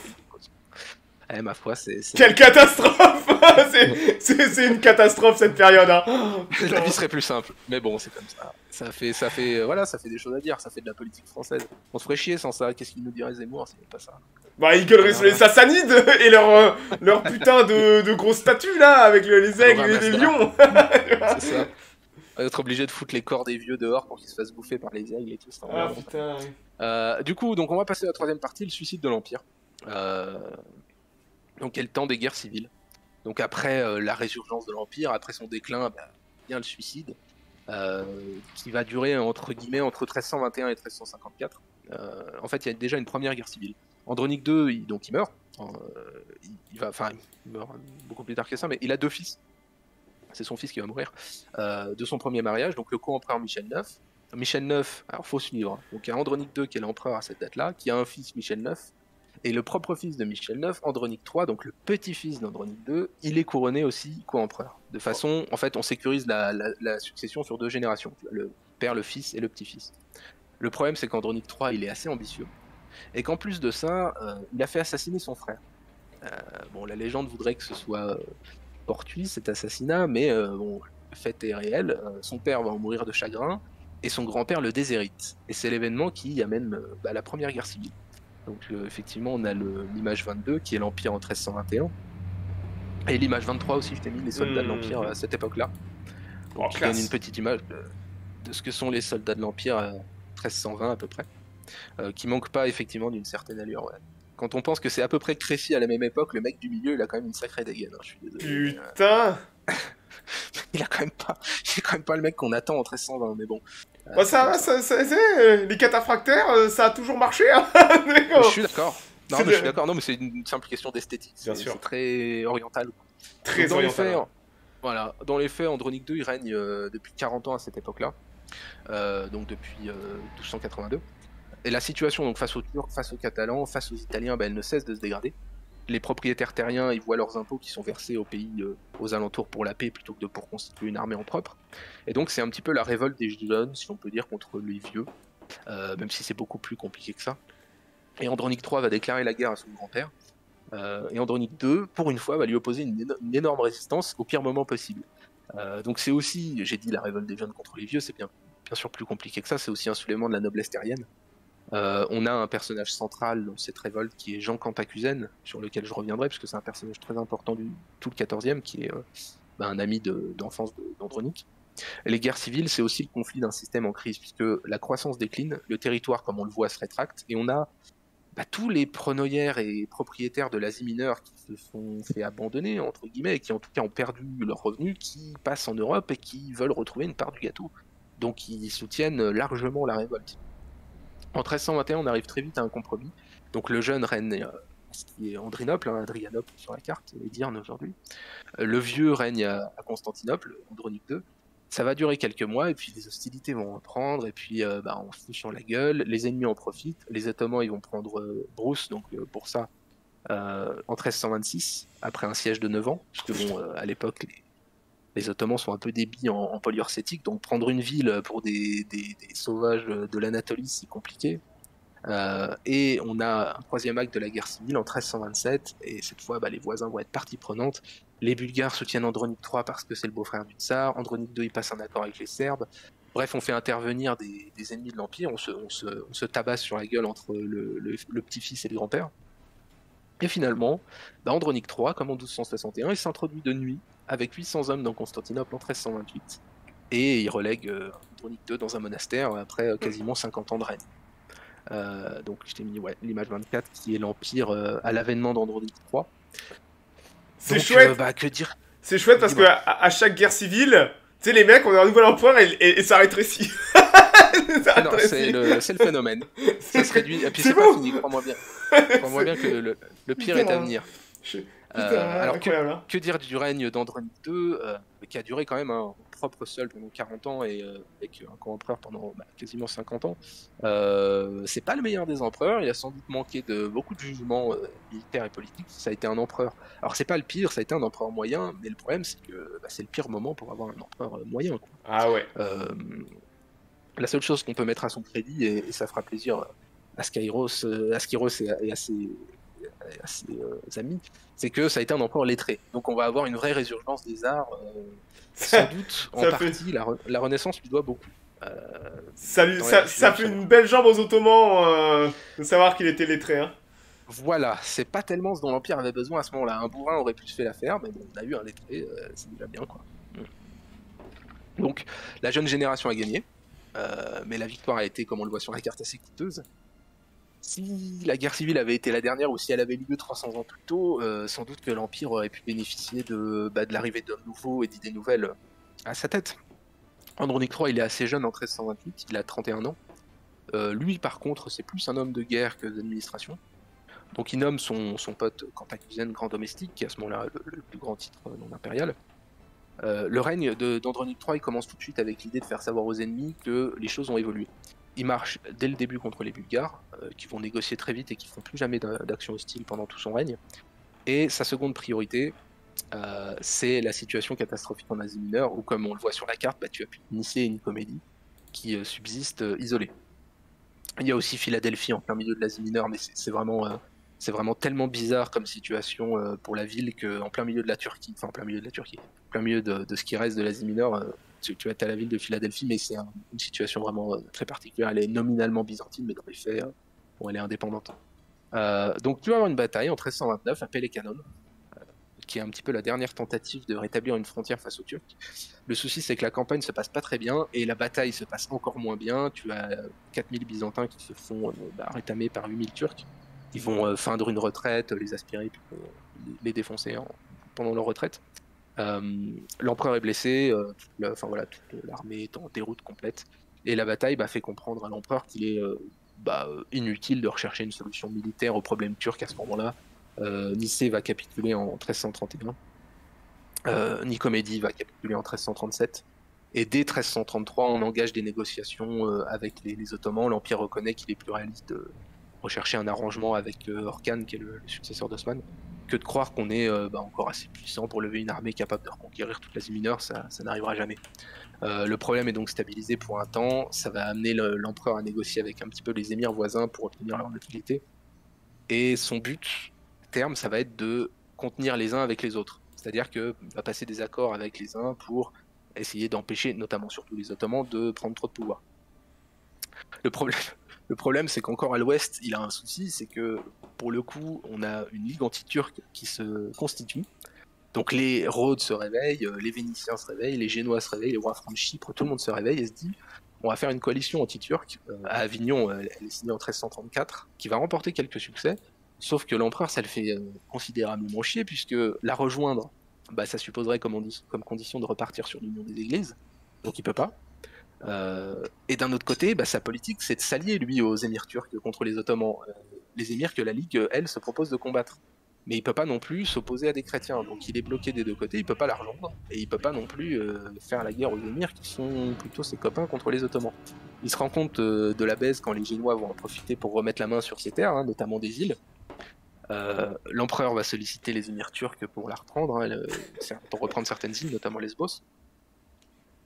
Et il formalise des accords d'alliance euh, contre les Italiens et les Ottomans. Cette fois, euh, entre guillemets, je peux dire, il dévoile son jeu, il assume. Euh, jusqu'en 1341, notamment l'émir d'Haïti et l'empereur vont être réellement des alliés, mais des alliés réels et concrets. C'est pas, c'est pas des copains, ils vont être des alliés militaires. Ah, c'est une politique très dangereuse. Ouais, c'est, de la, de la géopolitique orientale. Hein. Le mec, il a plus peur des. Il, il, sait ce qui arrive quand tu fais copain-copain avec les croisés. Euh, T'as peut-être mieux compte d'aller voir les, les Ottomans, hein Alors, pas les Ottomans, justement. Ouais, les, enfin, les, euh, les, les, mecs du coin. Les, euh, ça. Les concurrents des Ottomans, on va dire ça comme ça. Exactement, exactement. Euh, et je, je regarde dans les commentaires, il n'y a pas d'État turc chrétien. Il y a des Turcs chrétiens, ça existe, mais à cette époque-là, il n'y a pas d'État turc chrétien. donc les Balkans, en plus de ça, sont bouleversés quand les Serbes écrasent les Bulgares et prennent un petit peu l'avantage dans les Balkans. on va avoir l'émergence d'un roi, Étienne Duchan, donc Étienne Rouge IV, qui, va, qui va arriver, et ça va être là aussi assez important, j'y reviendrai. Toujours est-il que ben il y a quand même des succès militaires malgré la défaite contre les Turcs qui redonnent un petit peu confiance à l'Empire. Euh, je te laisse mettre l'image 25 qui est l'Empire à la mort d'Andronic III puisqu'il va mourir assez rapidement. En fait, Andronic III euh, remet la main notamment sur toute la Grèce du Nord, euh, sans guerre, sans effusion de sang, par des manœuvres politiques. Et quelque part, c'est un petit peu une compensation pour la perte de l'Asie mineure. certes, c'est pas, exceptionnel, hein, mais c'est l'espoir un petit peu de revoir Byzance comme une puissance moyenne de points. Euh, L'Empire est engagé quand même dans un processus de reconstruction pendant son règne. Euh, la Grèce du Nord, en fait, quand on regarde le, territoire, à l'époque, il était on passe au moment de sa mort de partir pour une campagne en Morée. Et son but, c'était un petit peu de, bah, de reprendre la péninsule grecque entière et de se retrouver avec un État euh, réunifié, un petit peu homogène, modeste, mais bah, un ensemble cohérent, un ensemble administratif et militaire plus facile à gérer. Donc euh, c'était le but. Le problème, c'est qu'il va mourir le, 15 juin 1341 à 45 ans, euh, sans doute de la malaria. Et bah, c'est un vrai problème. Et là, on va passer euh, à la Seconde Guerre civile, qui là va être une phase beaucoup plus compliquée pour l'Empire et qui est sans doute à l'origine de sa mort. L'Empire serbe, c'est un, petit peu, un, tout petit peu plus tard, mais je, je vais y venir. Euh, donc la Seconde Guerre civile, elle se déroule de 1341 à 1347. Parce qu'en fait, les, deux prédécesseurs, donc paléologues, Michel VIII et Andronique II, euh, avaient pris des, précautions pour que la succession soit assurée. C'est pas le cas d'Andronique III, qui laisse, euh, bah, du fait de son âge, trois fils assez jeunes. L'aîné, Jean Paléologue, il a 9 ans. Donc il paraît naturel que son ami de longue date et, des, grand domestique Cantacuzène soit régent, mais il n'a pas laissé de consigne. Le souci, c'est que Jean Cantacuzène je parle de lui parce que forcément à un moment il sera empereur, il a des opposants, dont l'impératrice Anne de Savoie, qui est euh, appuyée par le patriarche euh, Jean XIV notamment, qui revendique pour lui la régence. Et dernier larron, donc tu as sur effectivement l'image de gauche, qui est euh, le Megadoukas, Alexios Apokokos, qui est à la base un ami de Cantacuzène, sauf que bah, il va se retourner contre lui quand Cantacuzène va refuser de se proclamer empereur. Le problème, c'est que bah, Jean Cantacuzène, régent ou pas régent, il peut pas rester à Constantinople, puisque bah, comme à chaque mort d'un empereur, euh, les ennemis vont essayer de tirer parti un petit peu de, de la période de flou, de la période d'interrègne. Il part en campagne, il réussit à intimider les Bulgares, notamment grâce à la flotte de l'émir d'Aydin, avec qui euh, lui aussi est copain.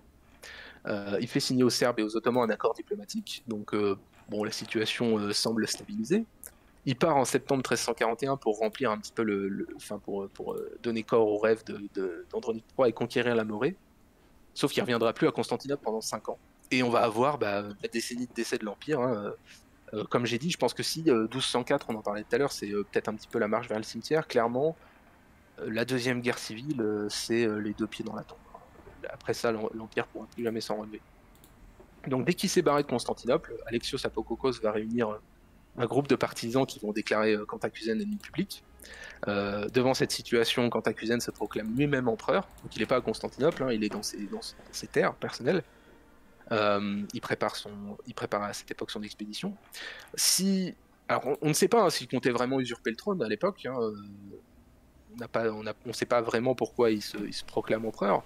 Peut-être qu'il voulait sauver, enfin il pensait sauver l'État, peu importe. à la limite c'est un usurpateur, mais ce sera le fossoyeur de l'empire, ça c'est sûr. Euh, selon les mots de Cantacuzène lui-même, puisqu'il a laissé des mémoires euh, qui sont un peu nos bah, essentiels sur le, ce qu'on sait de la période. Ce sera, je le cite, la pire des guerres civiles dont les Romains ont eu l'expérience, un conflit qui détruisit pratiquement tout, condamnant le grand empire romain à n'être plus que l'ombre de lui-même. Donc lui-même, c'est bien parce qu'il en, est, euh, en est conscient de ce qui va se passer et de ce qu'il a fait. Alors les raisons qui font de la seconde guerre civile un cataclysme, elles sont assez nombreuses. les puissances étrangères vont intervenir largement et euh, avec beaucoup plus de calculs que la dernière fois. L'économie de l'Empire, elle va pas se relever euh, d'un deuxième conflit, enfin d'une deuxième guerre civile qui est aussi proche de la première. Et les Byzantins euh, vont se partager en deux camps, comme sans doute jamais ils l'avaient fait auparavant. Il faut savoir que Cantacuzène représente la noblesse terrienne, noblesse qui est redevenue le centre du pouvoir depuis, depuis les Comnènes. Et il représente une noblesse terrienne qui est sans doute en, rupture complète vu la situation dégueulasse de, l'Empire à cette époque-là. Il est en rupture complète avec ce qu'est le, peuple de base. Euh, il, le dit lui-même quand il se fait saisir ses biens en Macédoine, il va perdre. Alors, il y a d'autres bestioles dans le tas, mais il va perdre 50 000 porcs et 70 000 moutons. À, cette époque-là, un paysan, il a au mieux une paire de bœufs pour faire, euh, pour faire son champ. Et c'est pas, pas, c'est pas une image. Hein. Réellement, il a au mieux une paire de bœufs. Euh, c'est ce qu'on a dans, dans les, dans les chroniques euh, de l'époque et dans les relevés euh, fonciers. Donc lui, euh, c'est quand même un sacré propriétaire. et forcément, le peuple voit ça d'un œil, voilà, un petit peu, un petit peu suspicieux, on va dire. Donc il est condamné par toutes les instances de l'Église et de l'État. Il n'arrive pas à prendre Thessalonique, qui va se retrouver avec une espèce de révolte très particulières qui sont les zélotes. J'en parle pas parce que c'est, ça fait pas partie du sujet, euh, mais euh, Thessalonique, euh, il n'arrive pas à s'en emparer. Il se retrouve à aller demander l'aide du roi serbe, Étienne Douchan, qui lui file des troupes, troupes qui se font décimer. Mais Étienne Douchan refuse de livrer Jean Cantacuzène parce il est dans l'intérêt du roi serbe que les Grecs continuent à se foutre sur la gueule dans une guerre civile, ça, ça l'aide beaucoup. Euh, finalement, la situation de Cantacuzène se remet un petit peu. Il a des gens qui viennent lui faire euh, allégeance et compagnie. On se retrouve avec l'Empire euh, divisé en deux entre, en gros, les provinces qui ont été nouvellement conquises sous Andronique III et les anciennes provinces qui sont un petit peu en guerre. Ça va stagner quelques temps comme ça.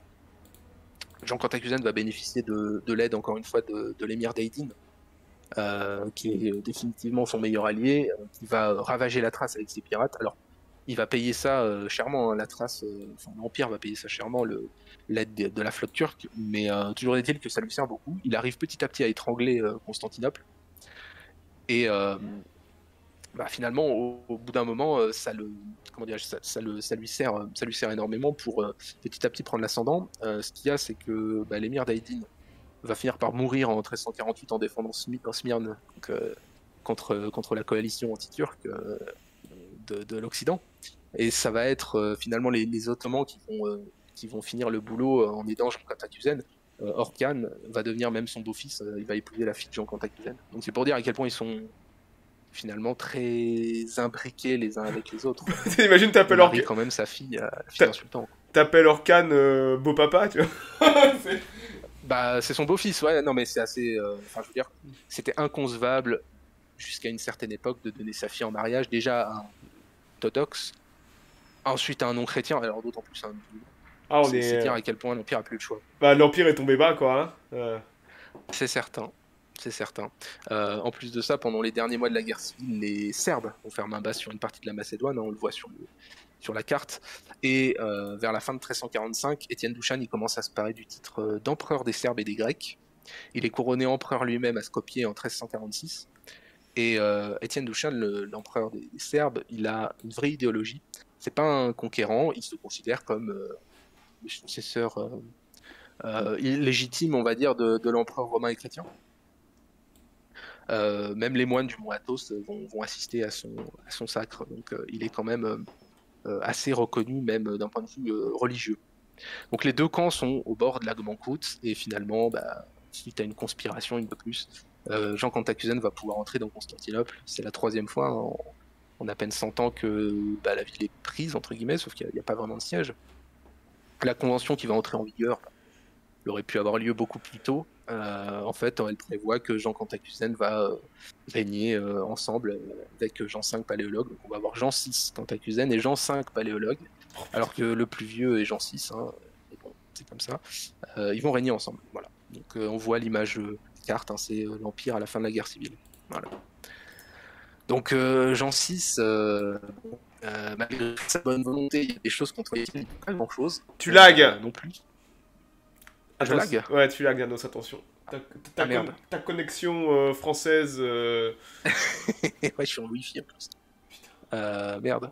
Pas, tu, me dis. Ça, ça va, ça va. bon? Ouais, ouais, ça va. Ok, ok. Ouais, n'hésite pas à me dire, hein, je, je, je rends pas compte.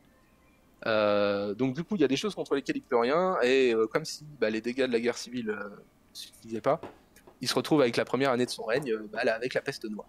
Forcément, on est en 1347. Ah ça arrive, la grande peste. Hein. Et eh ouais.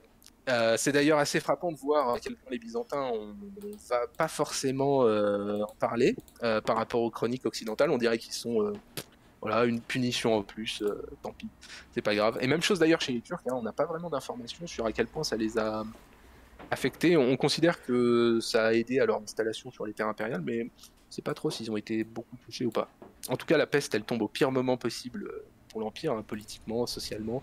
il sort d'une guerre civile qui a entraîné des gros mouvements de population, qui a entraîné un exode vers les villes, qui a entraîné aussi, euh, c'est qu'on va dire, mais un affaiblissement des gens. Euh, la sous-nutrition, ça compte hein, dans une épidémie euh, pour crever. Et ça va aggraver la crise démographique. On estime qu'elle va tuer, comme ailleurs, un tiers à la moitié de la population de l'Empire. Donc, guerre civile et peste, les deux ensemble, ça fait franchement du mal. Vraiment, ça va, ça va faire beaucoup, beaucoup de mal à l'Empire. donc après 148, les Serbes marchent encore sur la Grèce du Nord, ils s'emparent de nouvelles terres. Je te mets, alors tu peux mettre l'image 29 et 30. Uh-huh. Cette fois c'est l'Empire serbe. Ah et les troupes serbes. Voilà, c'est l'Empire serbe à l'époque. Et les troupes qui vont avec, ils sont toujours aussi mignons. Euh, donc toute l'œuvre de reconquête d'Andronic III, euh, elle est anéantie en à peine 10 ans. L'Empire, il se réduit, bah, comme on voit, quelques places fortes et puis euh, à la trace. Donc après la guerre civile, après la peste, après l'invasion serbe, bah, les moyens comme la volonté manquent. Le trésor, il a disparu. Le commerce, l'agriculture, c'est au point mort. La capitale tombe en ruine. Voilà, on, on, essaye quand même de, saisir sa chance. Hein. Ils, vont, réussir à reprendre Thessalonique en 1350 avec l'aide des pirates turcs, encore une fois. Euh, donc on essaye quand même de faire des choses, mais plus vraiment les, les moyens. Euh, on a aussi, encore une fois, la rivalité entre Venise et Gênes dans les, dans Constantinople. Euh, Cantacuzène, cette fois, lui, va déclarer la guerre aux Génois, aux côtés de Venise. Donc l'inverse de ses prédécesseurs c'est tout un, tout un mauvais choix, la flotte byzantine et vénitienne vont se faire euh, éclater par, les, les, Génois. Donc bah, les Byzantins se retrouvent encore une fois tout seuls à devoir négocier avec les Génois. Voilà, encore une fois, un, choix brillant. Et puis bah, les guerres entre guillemets civiles continuent, puisque Jean V, paléologue, qui est donc l'empereur, on va dire, légitime, va envahir le territoire qui a été donné au fils de Jean VI, donc Mathieu Cantacuzène. Euh, une troisième guerre civile qui commence, et euh, bah, encore une fois, on a les mêmes protagonistes. Euh, Jean Cantacuzène va venir sauver son fils avec l'aide des Turcs, 10 000 Turcs. Jean V qui compte sur 5000 Serbes, donc encore une fois, on a bah, les mêmes, le même bordel. Et bah, Jean VI va devoir faire un choix, tout simplement, entre fonder une dynastie lui-même ou laisser le pouvoir à Jean V, sauf qu'il décide de pas grand-chose à la fin, il finit par faire couronner son fils co-empereur, Mathieu. Euh, donc il y a, euh, comment dirais-je, possiblement un, changement de dynastie qui pourrait s'opérer. Sauf qu'à ce moment-là, il y a encore des emmerdes. Euh, les Turcs qui avaient fait campagne avec lui se sont installés un petit peu dans, partout en Thrace. Et dans la nuit du 2 mars 1354, tu vas avoir un séisme énorme qui va ravager la Thrace. Et ça va permettre aux Turcs en fait, de s'installer à Gallipoli. Euh, je t'ai mis l'image 31. Mm Et le Bellica, Ottoman en 1361, voilà. Euh, c'est euh, une catastrophe pour l'Empire, l'installation des Turcs dans la, péninsule de Gallipoli. encore une fois, c'est pour le de terre, ils n'y peuvent pas grand-chose. Et encore une fois, donc l'histoire. On notera qu'ils sont, ils ont pas traversé à la nage. on les a, on leur a filé un coup de main. Hein. tout à fait tout à fait. Et euh, donc l'histoire se répète encore une fois, euh, le 21 novembre 1354, quatrième fois depuis 1261, Jean V pénètre par la mer dans Constantinople et il fait abdiquer en fait Jean VI qui devient moine. C'était euh, l'image 54, Jean VI Cantacuzène, empereur et moine, ah, ah, ah. qui va rester un personnage important de, de l'Empire. Hein. Il va rester conseiller, il va mourir en 1383, donc ça va rester un type très important. Voilà, donc euh, son règne, euh, bon, il s'est proclamé empereur, il a foutu le bordel partout, il y a eu une guerre civile, euh, l'empereur se casse la gueule, merci à lui, et puis voilà, une prochaine fois quoi. Et donc on va passer à la quatrième partie, et la dernière, l'empire comme vassal des Turcs, qui eh en gros s'étend de 1354 à 1453, les 100 dernières années. On, oublie, on oublie que les, Byzantins ont été vassals des, des, des Turcs pendant très longtemps. Tout à fait. ouais. Et il a pas, bah, encore une fois, hein, les, règnes des paléologues étant euh, très longs, il n'y en aura pas énormément. Hein, c'est euh, trois règnes euh, pour les 100 dernières années. Enfin, quatre avec Constantin, mais j'en prendrai pas. Donc ça commence par Jean V paléologue qui règne de 1354, enfin en propre de 1354 à 1391. Euh, clairement, 1354, comme on le voit sur la carte, euh, c'est la, période à partir de laquelle sans doute l'Empire peut plus sauver ou être sauvé. Voilà. Euh, en tant qu'institution, on va avoir un petit peu un, pâle reflet qui, qui, va vivre encore 100 ans, mais c'est clairement le même empire. Hein, sur la scène politique, l'État le plus prospère, c'est pas Byzance, c'est pas les Ottomans, c'est l'Empire serbe. Sauf que leurs yeux sont rivés sur Constantinople et pas sur les Turcs. Euh, le problème, c'est que Étienne Douchan, qui est le, donc enfin l'empereur pardon des Serbes et des Grecs, meurt en 1355 à 47 ans, alors qu'il allait marcher sur Constantinople. Donc son empire se désagrège très très vite, euh, très très vite après. Jean V, il a un règne long, euh, comme je l'ai dit, pas terrible malheureusement. Donc il va pas être forcément à la hauteur et en plus de ça, il a un règne qui est très embrouillé par l'absence des sources. Donc assez emmerdant de, retracer un peu tout ce qui se passe. Euh, revient à son époque l'union des églises, hein, comme, carte à jouer euh, auprès de l'Occident, donc qui est une carte euh, improbable, puisque même en l'état, vu la gueule de l'Empire, on pourrait croire qu'ils sont prêts à tout. Mais non, la plupart du peuple et des, des, des ecclésiastiques sont prêts à renverser l'empereur plutôt que de transiger. Et les Turcs, bah, depuis Gallipoli, qu'on voit hein, sur la carte, posent un, vrai problème majeur. Euh, en fait, ils, ils, agissent pas eux-mêmes, les Ottomans, ils sont européens, hein, avec l'Empire, sauf qu'ils fournissent une base à toutes les bandes errantes de guerriers turcs qui ravagent la trace. Et comme en Asie mineure, bah, les fermiers finissent par se barrer et puis euh, abandonner euh, l'agriculture et, le commerce dans les, endroits hors des grandes villes. Donc très vite, les Turcs, dès 1363, donc très rapidement quand même, s'emparent de, de, de, Philippopolis, donc Plovdiv en pleine Bulgarie, euh, donc c'est euh, la preuve que le sultan, en fait, sans être vraiment en guerre, hein, le sultan Mourad, euh, il a absolument rien à faire pour consolider ses positions. Il a juste à laisser les Turcs faire leur boulot eux-mêmes. Alors les, Turcs vont se, prendre un, ils vont se prendre un gros coup dans les fesses prochainement. le fiston de Mourad, c'est Bayezid. Il y a, y, a, Timur qui arrive. Ça va calmer un peu les, les Ottomans pendant quelques temps à fait. Mais c'est, ils ont 40 ans, ça arrive. Hein. Je peux te dire qu'en 40 ans, ils vont faire du boulot. Ouais, ils vont faire, du boulot. Hein. Ils, vont faire, un peu de taf quand même. Ils vont être constructifs. ils, vont, ils, vont, ouais, ils vont quand même construire des, deux, trois choses. Ouais. Je pense que euh, c'est pas pour rien si quand, si quand Bayezid euh, perd, euh, l'Empire ottoman survit. Hein. Ouais, survit. Ils, ont déjà, ils, ont, ils ont déjà une base solide, hein. très solide. C'est ça. Donc, fait sans précédent, mais qui est amené à se reproduire, c'est l'empereur qui décide d'aller à la rencontre du roi de Hongrie pour demander de l'aide. Euh, signe que ça va vraiment plus du tout. Il obtient rien. Et le plus drôle, c'est que les Bulgares vont lui refuser le passage sur le chemin du retour. Donc euh, il se retrouve coincé en fait euh, à la frontière hongroise et bulgare sans pouvoir revenir. va y avoir un homme pour prendre à cœur l'appel de l'empereur à l'aide. C'est son cousin, Amédée V, le comte de Savoie. C'est pas à côté. en fait, bah, comme on se rappelle, hein, l'impératrice Anne de Savoie, c'est la mère de, de l'empereur régnant. Et donc, euh, lui-même est le fils du frère de l'impératrice. Donc, c'est le cousin de l'empereur, le comte de Savoie. Il va entreprendre d'organiser seul une expédition. Il rassemble une flotte euh, de 15 navires. Il prend 1500 hommes avec lui. Ils arrivent sur l'Hellespont en août 1366 et ils reprennent euh, Gallipoli. Donc, ils vont couper la tête de pont des opérations turques en trace depuis 10 ans. Informé ensuite du fait que l'empereur est coincé à la, frontière hongroise et bulgare, il prend la mer en octobre. Pour intimider les Bulgares, il va ravager les villes de la mer Noire et il va les inciter à laisser passer l'empereur. Ce qui lui permet de revenir sur ses états. Donc euh, on dit merci euh, au comte, au comte de Savoie Médécin qui, tout seul a fait plus que, tous les autres. Mais, mais bon, c'est sans lendemain. Hein. Je veux dire, ils reprennent Gallipoli, effectivement, l'empereur peut bouger, mais ça fera, ça fera rien de plus. Donc finalement, l'empereur décide d'aller plaider sa cause à Rome directement. En 1369, il va remettre sa déclaration de foi au pape là-bas, donc c'est une conversion personnelle hein, au catholicisme. Euh, il ne change rien à la situation puisque personne à l'ouest n'a envie de faire une croisade. Euh, afin d'intéresser les Vénitiens, il va essayer de, et puis aussi pour payer son voyage de retour, il va leur donner l'île de Tenedos, qui est une île à l'entrée hein, de, dans la mer de Marmara. Le problème, c'est que le régent qui est son fils, Andronique IV, qui est conseillé par les Génois, donc c'est là où on voit toute la, le bordel de la politique des villes italiennes, va refuser de céder l'île. Et bah, l'empereur se retrouve prisonnier de, en Italie sans moyen de rentrer, sans moyen financier pour rentrer. Il n'a même pas l'argent pour payer le voyage du tour. Ils se sont fauchés les machins. Exactement. D'autant que son fils en plus refuse euh, de vendre des objets précieux pour le, pour le financer, le retour.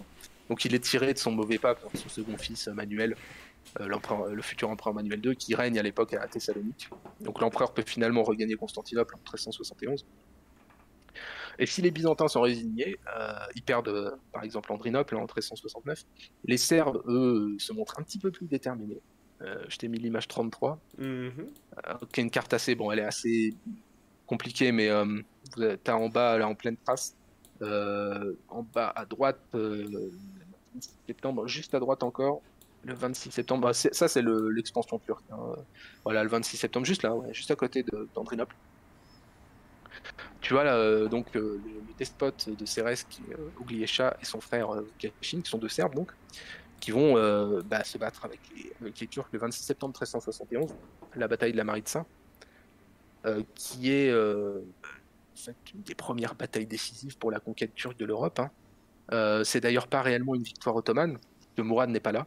Euh, les troupes turques en fait qui se battent, ce ne sont pas des Ottomans, c'est surtout les, les baies euh, indépendants de Thrace hein, qui, vont, qui vont éclater les, Serbes. Hein. C'est, un désastre pour la chrétienté orientale. les deux princes serbes et un grand nombre de leurs hommes sont, tués. Et de toutes les batailles, sans doute avant 1453, c'est euh, peut-être celle qui a eu le plus de conséquences, que bah, elle ouvre les portes de, de la Macédoine, de la Grèce et de la Serbie aux, Ottomans.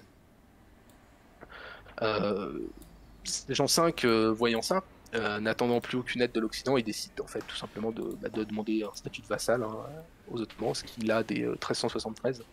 Donc à ce moment-là, l'Empire byzantin est officiellement vassal des, Turcs ottomans à partir de cette date-là. Et à ce moment-là, on va avoir la nouvelle génération qui frappe encore, ça devient une habitude, euh, puisque son fils Andronique IV va se joindre à une révolte du fils de Mourad, Safchibé, euh, qui est un fils cadet, donc qui craint d'hériter de, rien du tout. Ils vont faire une révolte commune, qui vont perdre, une fois de plus. Euh, et la différence de traitement, c'est que Mourad, lui, va faire pendre son fils. Jean, il va faire simplement aveugler le sien, mais un aveuglement qui est pas assez fort pour qu'il. En fait, il va retrouver la vue, mais mais voilà, c'est la différence de traitement entre les deux. Eh ouais, mais les, les, les autres. Les, Turcs, les Ottomans, ils rigolent moins, hein Les Ottomans, ils rigolent moins, hein, putain Ils rigolent un peu moins, ouais. Ils rigolent un peu moins. Mais euh, Mourad a exigé que, que Andronique fasse tuer son fils. Hein. Simplement, bon, il pourra pas s'y résoudre. Il va faire un faux aveuglement. Euh, qui, qui, va pas marcher, qui va, se retrouver avec euh, sans doute une mauvaise vue parce que je pense que ça laisse des traces, mais, mais en tout cas, voilà, il, va s'en remettre. Donc en 1375, deux ans après le, statut de vassalité, Mourad il va demander la restitution de Gallipoli pour prolonger la trêve. Donc le choix c'est ou la soumission ou la guerre. Et il faut bien comprendre que bah, la plupart des notables, ils sont pour la paix. Ils sont pour faire rentrer les récoltes et faire rentrer un peu le pognon. Euh, l'intérêt de l'Empire, ça passe après. Alors des charges, ça fait 30 euh, ans que c'est le bordel dans l'Empire et réellement, ils sont très appauvris. Donc, euh, bon, eux, pencheraient plutôt pour, euh, pour donner Gallipoli. Jean V, lui, penche plutôt pour refuser et pour la guerre. Euh, du coup, les Génois vont en profiter pour faire évader Andronique IV, qui est, en, qui est enfermé à Lesbos. Ils vont lui filer des troupes avec les Turcs. Et le 12 août 1376, il force encore une fois les portes de la ville. Il fait arrêter et emprisonner son père et ses deux frères. Et il se fait couronner empereur. Allez. Nouvel empereur Andronique IV.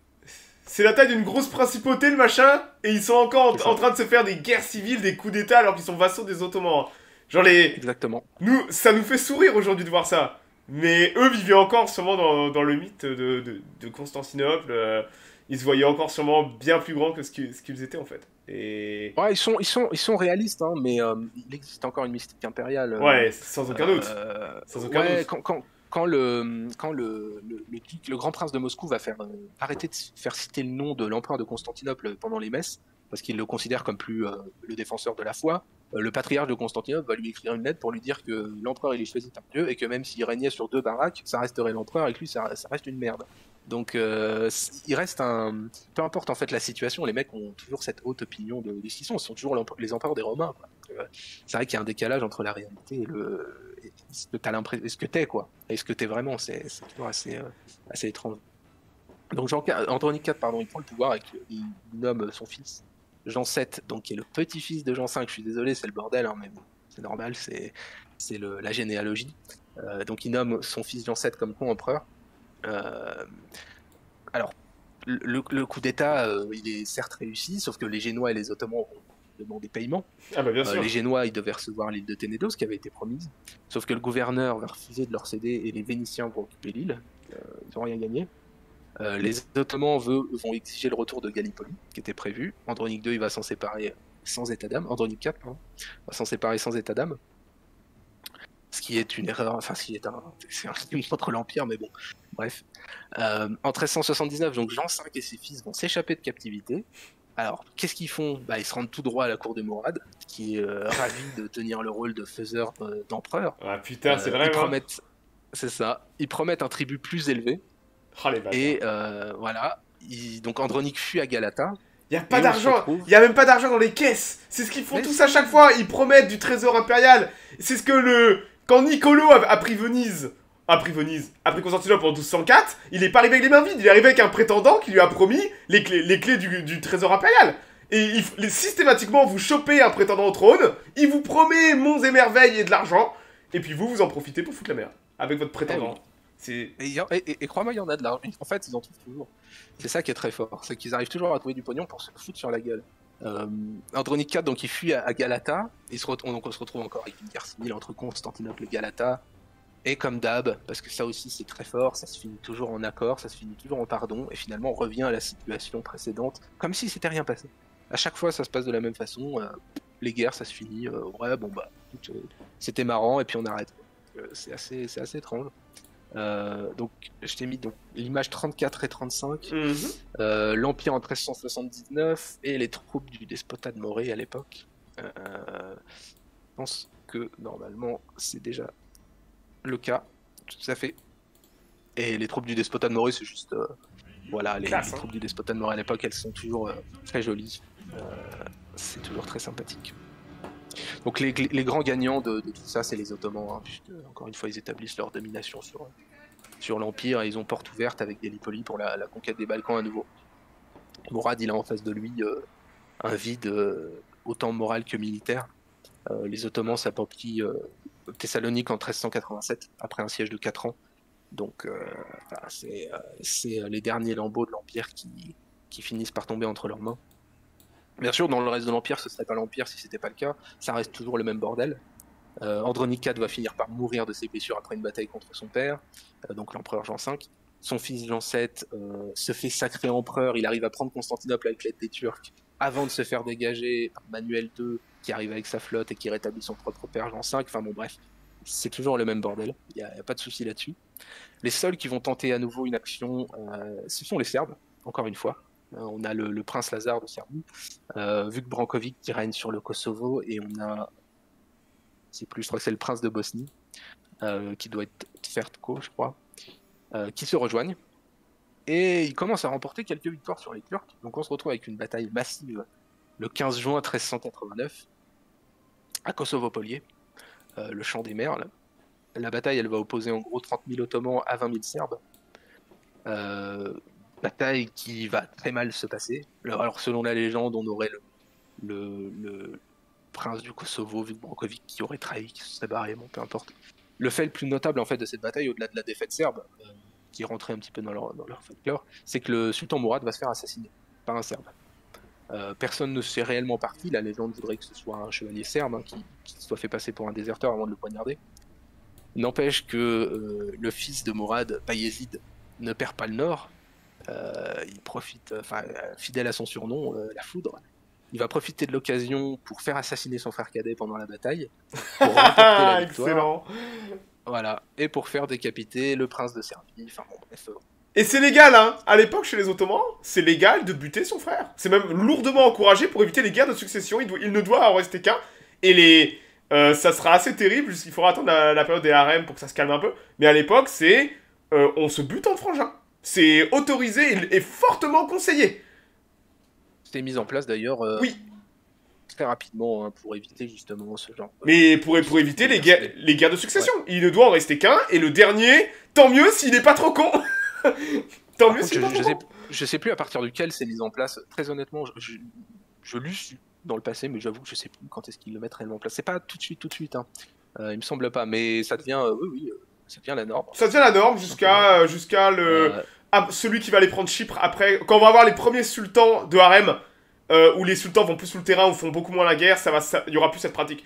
Mais jusqu'à jusqu'à après Mehmet, bien après Mehmet, c'était fortement conseillé de se buter entre frangins et Jusqu'à Soliman. Euh, ouais, après Soliman, je crois. Euh, c'est qui euh, Je crois que c'est.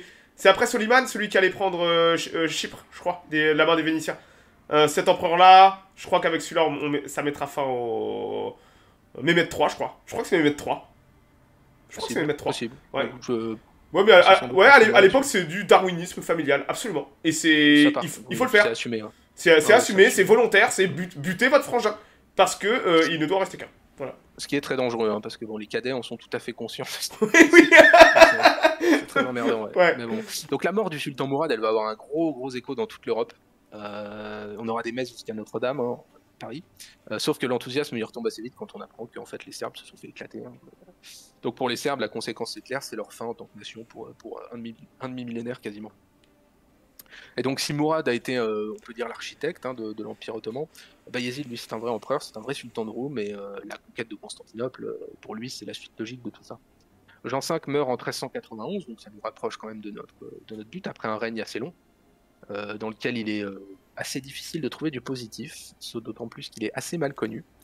Au moment où il monte sur le trône en 1354, il aurait sans doute fallu un, un Alexis Comnène doublé d'un Bélisaire, et le problème c'est que ni l'un ni l'autre en fait, hein, tout simplement, ça c'est clair. Et le souci, on, peut se demander, enfin je sais pas si on en a parlé, mais je- il me semble que oui, ils ont, ils ont toujours des troupes pour se foutre sur la gueule. Or, euh, il y aura aucune troupe grecque à la Maritza euh, en 1371 ou à Kosovo-Poly en 1389. Quand il y a des troupes pour se, taper dessus, il y en a, il y en a mais quand euh, il s'agit d'aider les copains ou d'aider euh, les voisins contre les Ottomans, ben, il n'y a jamais personne. Et ça, euh, c'est sans doute un vrai problème de, son règne en fait.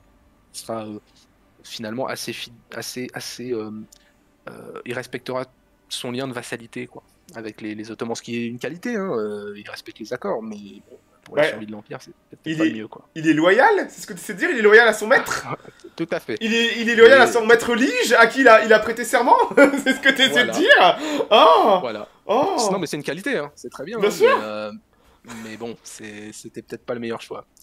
Bref, on en arrive donc au règne de Manuel II, euh, qui va durer de 1391 à 1425. Encore, encore une fois, un règne assez long qui se divise en, deux parties, euh, qui est euh, simplement l'avant et l'après euh, 1402.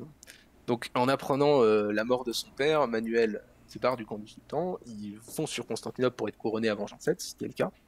Manuel II, c'est un bon empereur, mais euh, c'est sans doute pas le bon moment pour lui.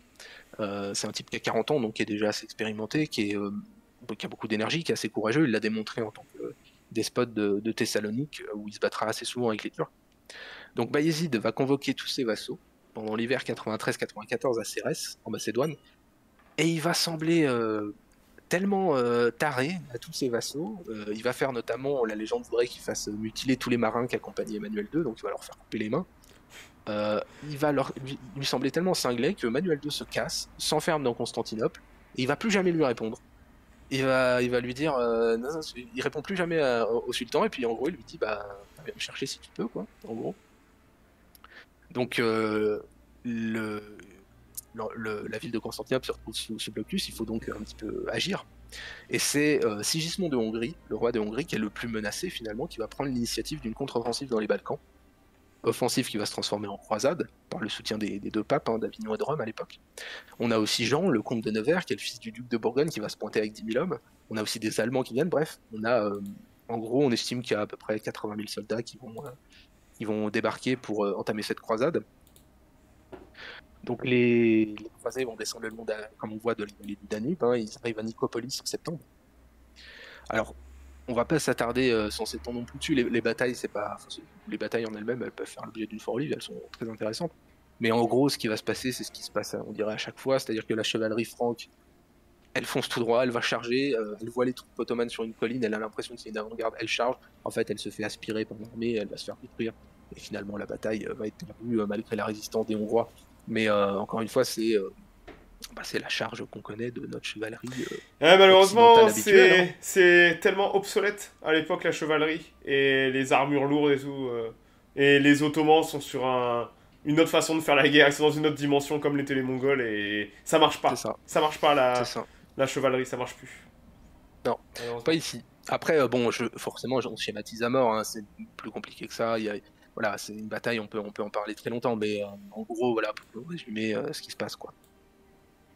Donc, euh, on n'a plus rien à espérer du côté de Constantinople.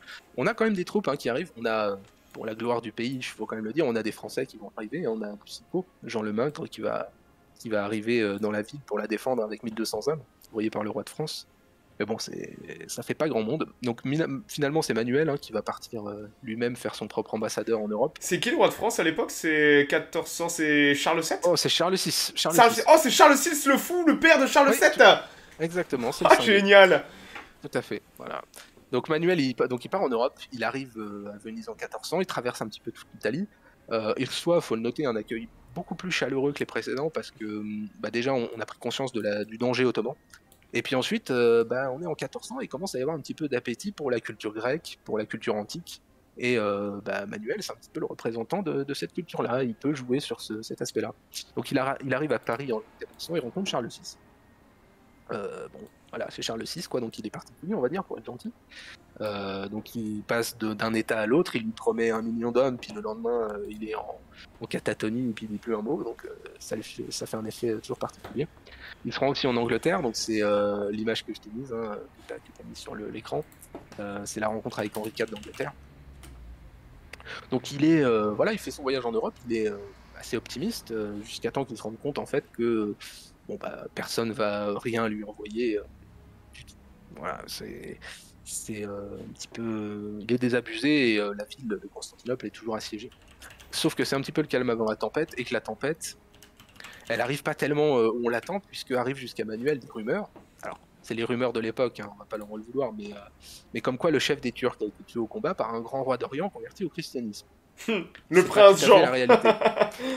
voilà, c'est le prince Jean habituel.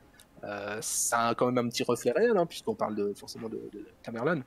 Euh, donc bon, chrétien non, mais euh, un grand roi d'Orient, pourquoi pas. Hein, Sans aucun doute. Hein.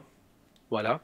ça, c'est la campagne effectivement qui va mener en Asie mineure. Donc le, la bataille, c'est la bataille d'Ankara, en fait, le, 20 juillet 1402. C'est amusant parce que quand on voit les effectifs des batailles de, de, de l'époque, bon, enfin, ouais, au Kosovo, il y a quand même du monde. Putain, mais tu vois les effectifs de la bataille dans le Karat, et là, mais non de Dieu, qu'est-ce que c'est que cette, cette, bataille de fou? Ça... Ah ouais, là, ça, ça fait Europa Universaliste. C'est un autre monde, hein, la bataille dans le Karat. Hein. Putain, ça fait, ça fait campagne napoléonienne, hein, quand tu vois les effectifs. Effectivement, effectivement, parce qu'en gros, ouais, t'as 80 000 Ottomans qui vont faire face à plus de 100 000 à 120 000 Timorides. Euh, donc euh, ça fait euh, ça fait un petit peu un petit peu mal. donc l'aile droite ottomane, elle est sous le commandement des Serbes, hein, Etienne. L'aile gauche Soliman, elle centre sous Bayezid. Alors pareil, la bataille en elle-même, elle pourrait faire sans doute l'objet d'une au livre, c'est très intéressant. Les Ottomans, ils vont se faire un petit peu ensevelir sous les sous les flèches, sous les flèches des archers montés, et bah, finalement les seuls à coller une trempe aux, aux c'est les Serbes. Qui vont d'ailleurs réussir à s'échapper de la bataille. Bon, la bataille, les Ottomans, ils la perdent. Bayezid, connaît l'histoire, hein, il, se fait, capturer.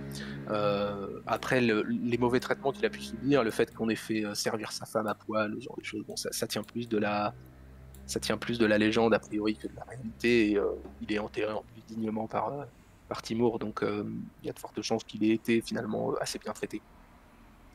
Toujours est-il que l'Empire ottoman il prend quand même une bonne claque et que bah, il va essayer de faire en sorte qu'il ne se relève jamais, en, notamment en redonnant tous les Émirats qui avaient été conquis à leurs anciens maîtres.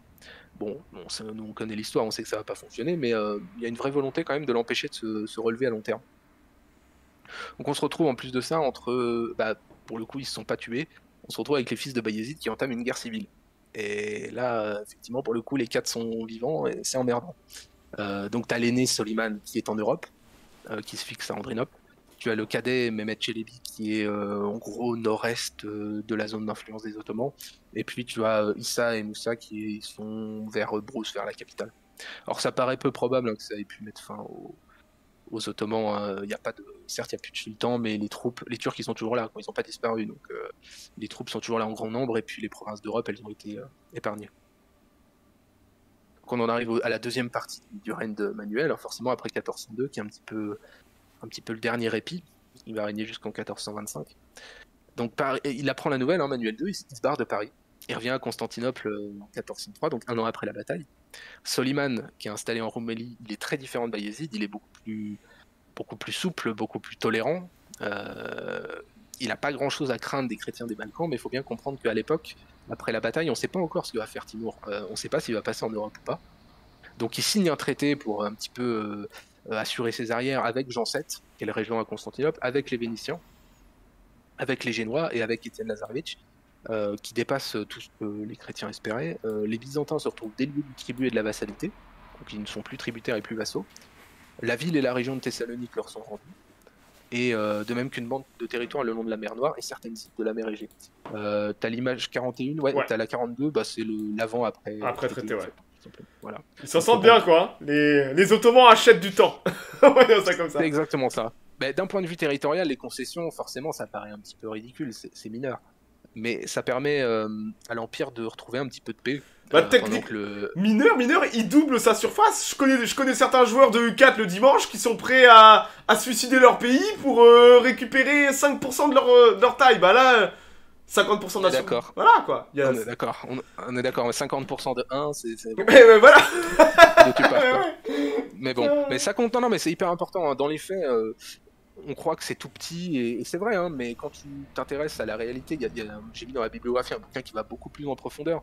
Dans les faits, c'est vachement important pour eux de récupérer ces territoires-là. Ils en tirent beaucoup de thunes, finalement. Euh, euh, parfois, un gros empire est plus dur à gérer qu'un petit territoire et t'en tire finalement euh, moins, de, moins de substance parfois.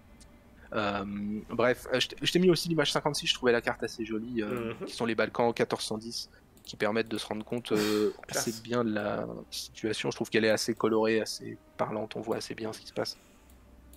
Donc le premier épisode de la lutte des fils de Bayezid, elle se termine euh, par la mort d'Ista qui est tué par Mehmet, pendant que Moussa et Soliman se foutent sur la gueule. La deuxième phase, euh, c'est la mort de Soliman que Moussa fait étrangler, donc on se retrouve avec deux, entre guillemets, deux concurrents.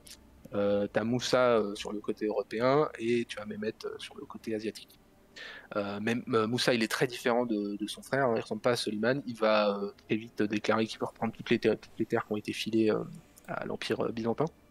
Il va commencer un siège de Constantinople en 1411.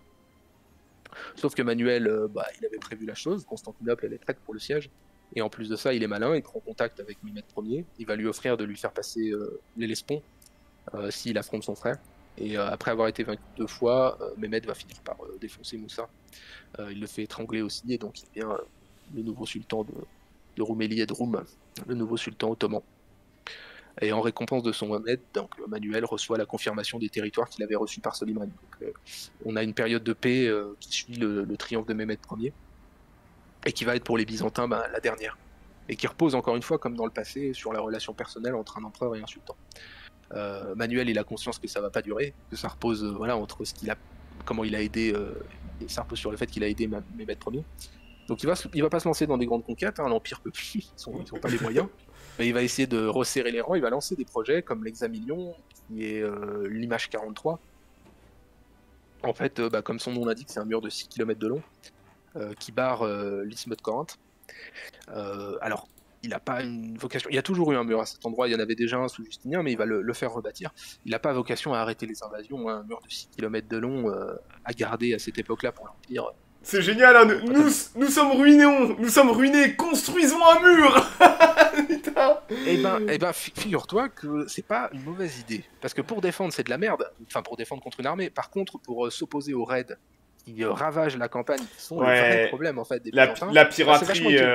Il, reste, il reste encore des petites principautés des îles Franques dans le merdier qui sont les rois de la, les rois de la piraterie euh, euh, dans le coin. Tout à fait.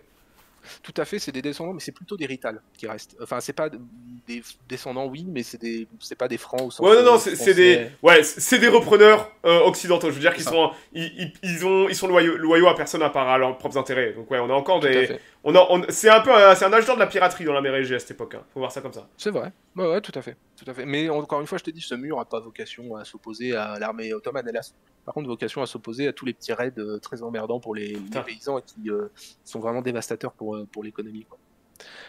donc l'examilion, c'est un petit peu le, symbole de la relation byzantino-turque, c'est-à-dire que le temps de paix, c'est celui où l'on prépare en fait les guerres à venir, hein. on sait très bien ce qui va se passer. En plus de ça, les Byzantins, ils ont recueilli un prétendant au trône, Mustafa, qui prétend être le fils de, de Bayezid. Donc Mehmet sait très bien que c'est une carte qu'ils peuvent jouer, donc voilà, on laisse, euh, on, touche plus à rien, on laisse tranquille et puis euh, on se regarde un peu euh, en chien de faïence pendant quelques temps. En 1421, Manuel, qui est quand même bien âgé, Il a 71 ans, il décide de confier à son fils Jean VIII, qui est le co-empereur, la direction des affaires. Euh, ce dernier a une politique euh, très différente, beaucoup plus agressive à l'égard des Turcs, qui considère que euh, bah, le, le, le, Gentleman's Agreement qui a été signé entre Mehmet Ier et, et l'empereur Manuel II, il a beaucoup plus profité aux Ottomans qu'à l'Empire. Le souci, c'est que Mehmet Ier il meurt la même année, et donc accède au trône Mourad II, qui n'est pas du tout lié à Manuel II, que ce soit, donc il ouais, Il y a aussi un souci, c'est qu'à chaque succession, pour asseoir sa légitimité, un, un jeune sultan doit faire la guerre et doit, et doit gagner une conquête. C'est systématique, vous pouvez pas arriver sur le trône sans faire la guerre chez les, chez les Ottomans. C'est c'est comme ça que ça marche, jusqu'à Mehmet III, même encore après, je crois. Mehmet III, il ira prendre Chypre. Euh, il y en a un autre qui ira prendre euh, euh Rhodes. Euh, c'est comme ça que ça marche. Et genre, le, si t'es pas con et que t'es Basileus, tu sais qu'à un moment, c'est toi qui vas être la conquête. C'est obligé, t'es en plein milieu. T'es en plein milieu, genre. C'est obligé. Ah, puis bon, t'es la cible la plus. T'es, une épine chrétienne dans le pied des territoires musulmans. Ouais, et t'es, aussi hautement symbolique. T'es hautement symbolique. T'es hautement symbolique, quoi. Mais pour répondre à ça, c'est, tout à fait vrai. C'est quelque chose que tu retrouves euh, dans tous les peuples, alors je ne veux pas appeler les Ottomans des barbares, mais par extension de ceux qu'on appelait les barbares, euh, notamment dans, dans l'Antiquité tardive, tous les, les, les Visigoths, et tout ce que tu veux, quand un mec arrive au pouvoir pour asseoir sa légitimité, il faut qu'il ait des, soit une famille euh, prestigieuse, soit des hauts faits d'armes à faire valoir, et généralement ça passe effectivement par la guerre dès le début et par des, conquêtes. Il faut justifier de son pouvoir, il faut être le plus fort, ou alors le plus, le plus prestigieux, mais il faut avoir quelque chose effectivement à, à, mettre en avant. Je pense qu'au bout d'un moment, les Ottomans auront plus besoin, puisque leur pouvoir est entre guillemets installés et ils ont une famille assez, mais un nom assez prestigieux. Tu sais que c'est quand ils, ils, pourront plus faire de conquêtes que ça que cette tradition commencera mais tant qu'ils ont des conquêtes et un, un empire parce que le but c'est aussi de récupérer des nouveaux territoires pour euh, pour donner ça à tes nobles et amener enfin c'est c'est un c'est un système qui se nourrit de lui-même en fait. Mais quand t'as plus de conquêtes à faire et que après il faut que tu ailles jusqu'à Vienne, ça, commence, ça, ça, va être problématique les Ottomans à un moment leur, euh, leur expansion à chaque nouveau sultan. Mais à, à cette époque-là, jusqu'à très tardivement, c'est comme ça que ça fonctionne. Il faut faire la guerre. Et toujours vous aurez la première chose que fera un jeune sultan, c'est lancer une campagne euh, pour aller conquérir de nouveaux territoires. C'est la base. Ah mais je te dis, on retrouve ça dans pas mal de, pas mal de... Les, les, les royautés euh, installées euh, occidentales ont jamais eu trop besoin de faire ça, même si euh, certains rois l'ont fait, il n'y a pas ce, ce, même besoin parce que tu reposes sur d'autres piliers effectivement que, que ça quoi. Mais, Mais c'est vrai, hein, t'as tout à fait raison. C'est les Turcs, c'est les sociétés turques qui sont extrêmement belliqueuses, où euh, la, la, guerre est le dénominateur commun de la société, et tu peux pas euh, asseoir ta légitimité sans faire la guerre. Et, et surtout gagner, parce que si tu perds, c'est une catastrophe. ah bah Mais... perdre tu, tu, tu n'es pas un sultan perdant. Tu, tu dois gagner. Et surtout quand tu arrives au pouvoir, euh, c'est la, la, la, légitimité, quoi. Euh, on est en 1400... Euh, dé, dé, début 15e 1400 On est en 1420. On est 1420. En 1420. 1420. Ouais, ouais, on est en 1420. Donc on, on, se rapproche de, on se rapproche largement de la fin. Il, il reste vraiment plus grand-chose. donc Jean va opposer au sultan Mourad II qui vient d'arriver au pouvoir le prétendant Mustapha en sort de détention. Il va remporter quelques victoires, hein, mais il finit par être pris et pendu par, par Mourad, qui est absolument furieux contre l'empereur et qui se prépare immédiatement à attaquer Constantinople. Il va l'assiéger euh, en 1422. Euh, à ce moment-là, il est clair que bah, la paix, la c'est terminé. Hein. Euh, le siège, en plus de ça, n'est pas juste une démonstration de force, c'est un vrai siège en règle de la ville. On a des, des rudes combats pendant deux mois. Euh, Mourad doit abandonner le siège, par contre, assez rapidement, puisqu'on a un de ses frères qui est en, en révolte en Anatolie, d'où l'importance de faire tuer ses frères. Mais, mais, mais, eh. assez de tuer vos frères hein, si vous avez l'occasion. Non, mais euh, si, si, les Ottomans avaient un cadre juridique pour buter les frangins et l'inciter à le faire, c'était pour éviter ça. Il fallait qu'il y ait qu'un seul fils qui survive et, et celui-là, après, euh, et ils auront des règnes incroyablement stables, les Ottomans. Et entre autres, entre autres grâce à ça. C'est un système dégueulasse, mais qui fonctionnait particulièrement bien. Et il montrera ses limites plus tard, mais à l'époque, ça fonctionne. moins t'as de frangins, moins t'as d'emmerdes. Exactement. C'est toujours valable aujourd'hui, sans doute. J'en sais rien, j'en ai qu'un donc. Euh, Moi aussi, euh, j'en ai, ai qu'un, je vais éviter de le buter. pareil, pareil, ça se passe très bien. Euh, donc euh, voilà, bon, tout est de pire en pire, et puis on va, on va se retrouver finalement avec une paix euh, avec les Ottomans en février 1424, qui ramène l'Empire à bah, sa portion congrue, et puis un tribut annuel qui doit être payé pour conserver le trône, donc l'Empire est, est, est, de retour sous la vassalité. Euh, en plus de ça, la situation, on se rend compte qu'elle est tellement critique. Euh, on se rend compte puisque la, ville de Thessalonique, elle, elle, finit par être donnée aux Vénitiens en 1423, c'est-à-dire donnée, hein, elle n'est pas vendue, elle est donnée parce qu'on peut eh la défendre. C'est vrai que Thessalonique sera pris par les Ottomans euh, de la main des Vénitiens, qui, qui prendront la ville sans trop de difficultés d'ailleurs.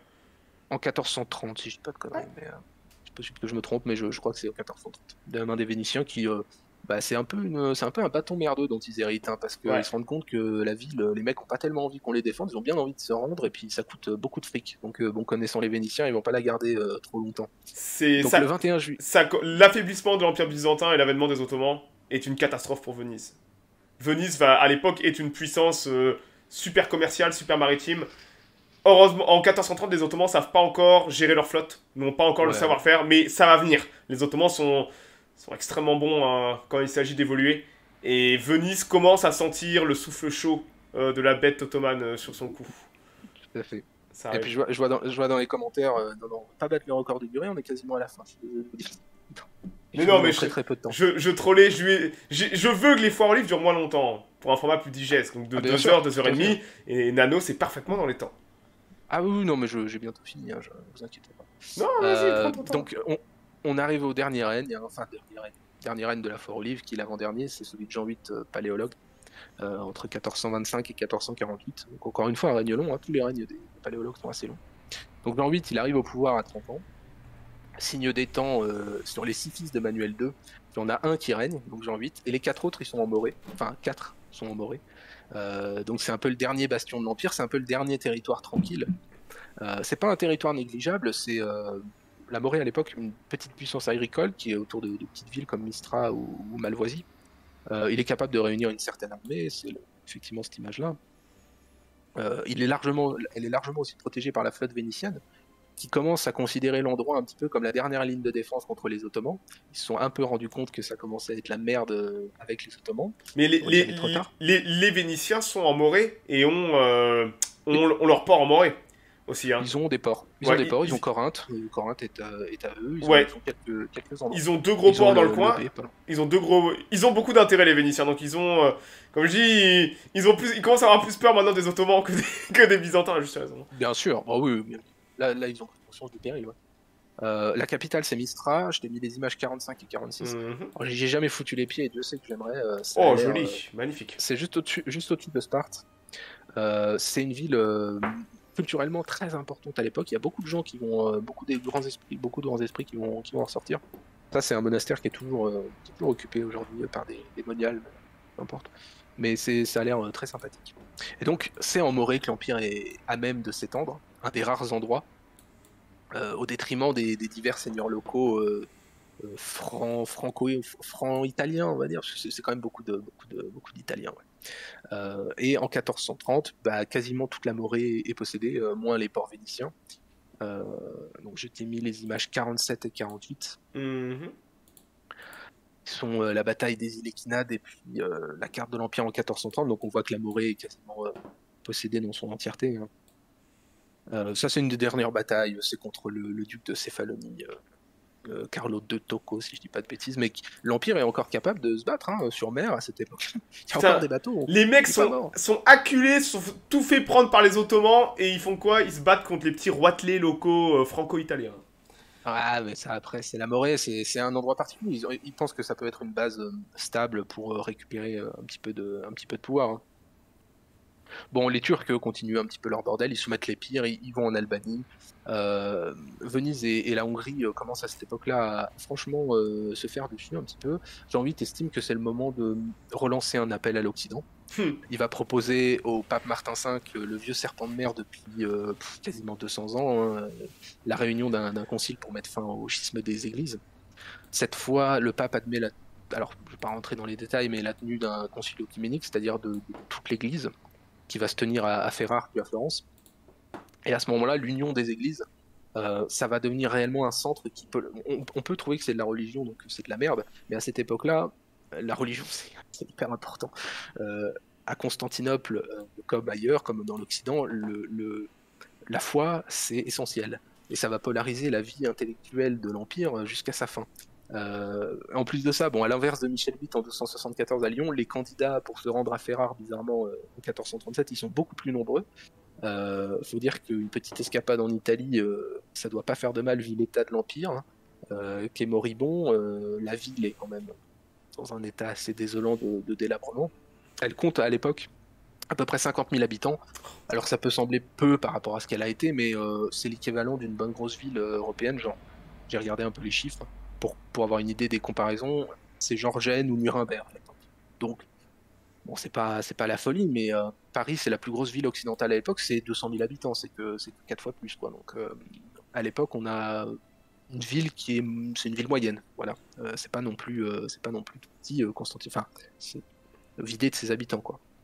C'est pas non plus une ville pauvre malgré ce qu'on peut croire, hein. c'est l'Empire qui est appauvri. Mais Constantinople, c'est toujours un endroit où on y fait du commerce. Mais c'est ça, c'est qu'il y a toujours les flux commerciaux avec la mer Noire, il y a toujours de beaucoup d'argent qui circule. En fait, bah, si on a mis la ville là, c'est que ça a toujours été un nœud commercial majeur euh, dans ce coin. Hein. Donc il y a forcément de l'argent qui passe, du commerce, des droits de douane. Euh, il y a de l'argent qui rentre ah, dans Clairement, clairement. Euh, on a des registres qui existent de l'époque, des, du bail génois, du responsable vénitien. Il y a de la thune. Simplement, l'Empire, il a plus de terre et il a plus tellement de thune non plus. quoi. Mais la ville en elle-même génère toujours, toujours autant d'argent. Bah, toujours est-il que le schisme euh, entre les églises réellement, enfin officiellement, parce qu'en fait il est toujours en cours, mais euh, prend fin le, 6 juillet 1439. Sauf que de retour au pays, bah, on se rend compte, comme d'habitude, que le peuple et le, clergé, euh, ils sont pas convaincus et préfèrent perdre l'empire que leur foi. Ça peut, encore une fois, ça peut sembler idiot, mais c'est une importance réelle à l'époque. Hein. C'est le plus important. Et du côté latin, donc le moment semble propice à la croisade. les Turcs sont un petit peu retenus en Serbie le royaume de Hongrie a fusionné avec celui de Pologne sous euh, Ladislas III, donc il est très puissant. Euh, en 1443, ils vont commencer à entamer des, opérations militaires. Le prince de Valaquie aussi va se joindre aux Hongrois et aux Serbes. On va avoir les Bourguignons aussi qui envoient une flotte, alors qu'en plus le sultan il est euh, occupé avec une révolte en Asie mineure. en Albanie, on a aussi bah, nous, celui qu'on appelle Skanderberg, hein, Georges Castillotès, qui est un renégat musulman un apostat qui va foutre aussi le bordel. Donc c'est une période assez difficile pour, le, pour les Ottomans. Et c'est la, période qui est choisie euh, bah, par, par, ces puissances-là pour commencer des opérations militaires. Donc ils font euh, une première descente sur le Danube en 1443. Euh, on a une trêve qui est signée avec le sultan Mourad II pendant, pour 10 ans. Et donc c'est pour ça hein, d'ailleurs qu'il va retourner en Anatolie pour réprimer une, révolte. C'est parce qu'il a l'esprit tranquille, il a signé une paix. Sauf que le légat du pape, Césarini, il veut pas se résoudre à ce que la croisade elle fasse si peu, et donc il va relever le roi Ladislas de son serment euh, fidèle. Et en septembre 1444, la croisade repart et ils arrivent à Varna, sur la mer Noire. Euh, et là, le sultan, il va se pointer, euh, enfin le sultan assez énervé de la trahison de sa parole, il va se pointer avec 60 000 hommes et il va bah, démonter les croisés hein, qui sont euh, trois fois moins nombreux. C'est effectivement ce tableau, hein, la, bataille de Varna. Ah, c'est un, euh, beau désastre. Hein. Ah bah Césarini, le, le, enfin, le, le, gars du pape cardinal, le meurt. la tête du roi Ladislas, elle va finir euh, sur une pique. Il n'y a que Jean Hunyad qui arrive à se, à se barrer et c'est effectivement une, énorme défaite. Jean VIII va mourir en novembre 1448 et il va désigner son frère Constantin le futur Constantin Dragazès paléologue, donc le, dernier empereur, pour lui succéder. Euh, dernier empereur qui mourra bien sûr le 29 mai 1453 sur les, murs de la ville ou euh, dans les rues de la ville, on ne sait pas. Mais, euh, mais voilà, c'est un petit peu le, la, fin de, l'Empire. Moi, je, bah, je vais arrêter ici mon propos. Il y a déjà eu, comme on a dit au début, une fort livre sur la, chute de Constantinople. On, est, on en est très proche, hein. ce, sera, dans moins de 5 ans. Ouais, c'est ça, 453. 8 ans, 8 ans, hein, ça, c'est, 5 ans, 5 ans. 5 ans, on est en 1448. ah ouais, d'accord, c'est ça, ouais. C'est son frère euh, Constantin XI bah, Il, faut qu'on ait un changement de sultan et qu'on ait un nouveau sultan euh, qui, doit, qui doit faire sa conquête.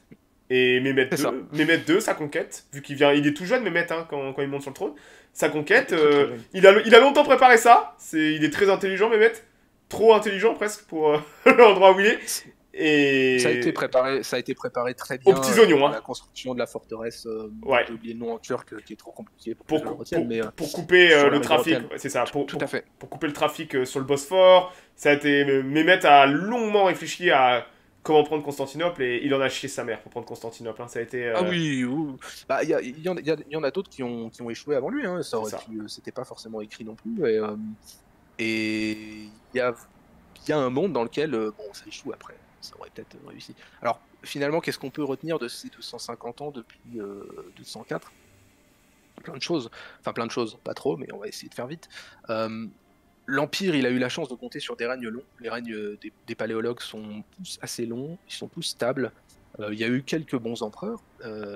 avec le recul, on pourrait tenter de croire que la chute de l'Empire était forcément actée dès 1204. Or, je pense, c'est personnel, mais jusqu'à la moitié du 14e, jusqu'aux vraies crises que sont les guerres civiles, c'est pas forcément une certitude. Ils ont eu des opportunités en fait. Il, faut un concours de circonstances. C'est-à-dire que il y a un moment où, voilà, il, faut un concours de circonstances. Il faut que certaines étoiles s'alignent pour que ça reparte. Mais c'est pas, elles vont jamais s'aligner comme il faut. En fait, ce qui est condamné, euh, je, suis d'accord. Euh, ce qu'on a souvent, après, je, regarde vite fait les commentaires. Euh, c'est pas forcément une ville qui a plus rien à voir avec ce qu'elle était avant, parce que Constantinople a toujours été, enfin, les murs de Théodose ont toujours été trop grands pour la ville. Même quand elle était à son apogée, il y avait des champs à l'intérieur. Sauf que forcément, avec dix fois moins d'habitants, bon, les champs ils prennent encore plus de place. c'est ce qu'on retrouvera à Rome après les guerres gothiques, dont je parlerai sans doute dans une au livre qui va venir très, rapidement. Euh, ce qui est condamné souvent dans notre tête, c'est l'empire de Justinien, euh, c'est celui de Basile II, c'est celui de Manuel Comnène, c'est-à-dire une puissance méditerranéenne majeure. Ça, clairement, c'est condamné. Euh, on a un militaire, économique, idéologique, mais de la même façon que l'empire de Basile II, c'est plus celui de Justinien, et celui de Manuel Comnène, c'est plus celui de Basile II. On a, selon affaiblissement, qui est en plus de ça. Nanos, je crois que tu commences à laguer lourdement.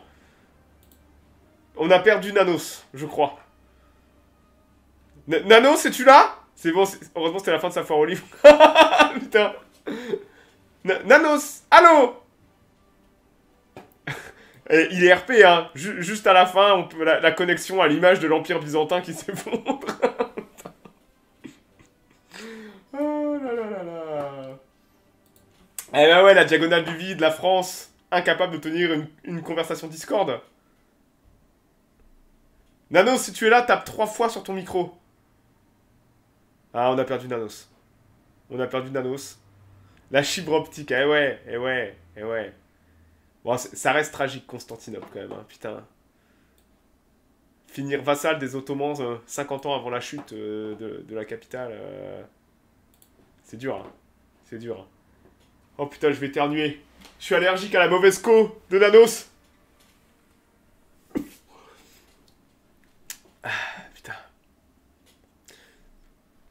En Wi-Fi, je savais bien sûr qu'ils cherchent les problèmes en Wi-Fi. Personne n'utilise le Wi-Fi. Le Wi-Fi, c'est pour, euh, pour mes, grands-parents, tu vois. Bah, c'est Nanos qui fait le boulot, hein. C'est son Discord qui a crash, je sais pas. Non, non, je le vois encore connecté. Je, vais essayer de le déplacer de... Je, le vois techniquement encore connecté, c'est juste que sa connexion Internet... Euh, sa connexion Internet euh, est morte, en fait. Sinon, il serait même vu dans... Il serait... Ah, il est là Internet qui crache Regardez, Hubert Nanos Il est dans le chat Coucou, Nanos Je vais lui mettre du méga chat. Regarde, Nanos Bon, c'est pas grave T'avais fini ta, ta foire au livre, de toute façon, Nanos. Tu as, encore une minute pour revenir en vitesse Tu as encore une minute pour revenir en vitesse si t'as une, une, une conclusion finale de finale à faire.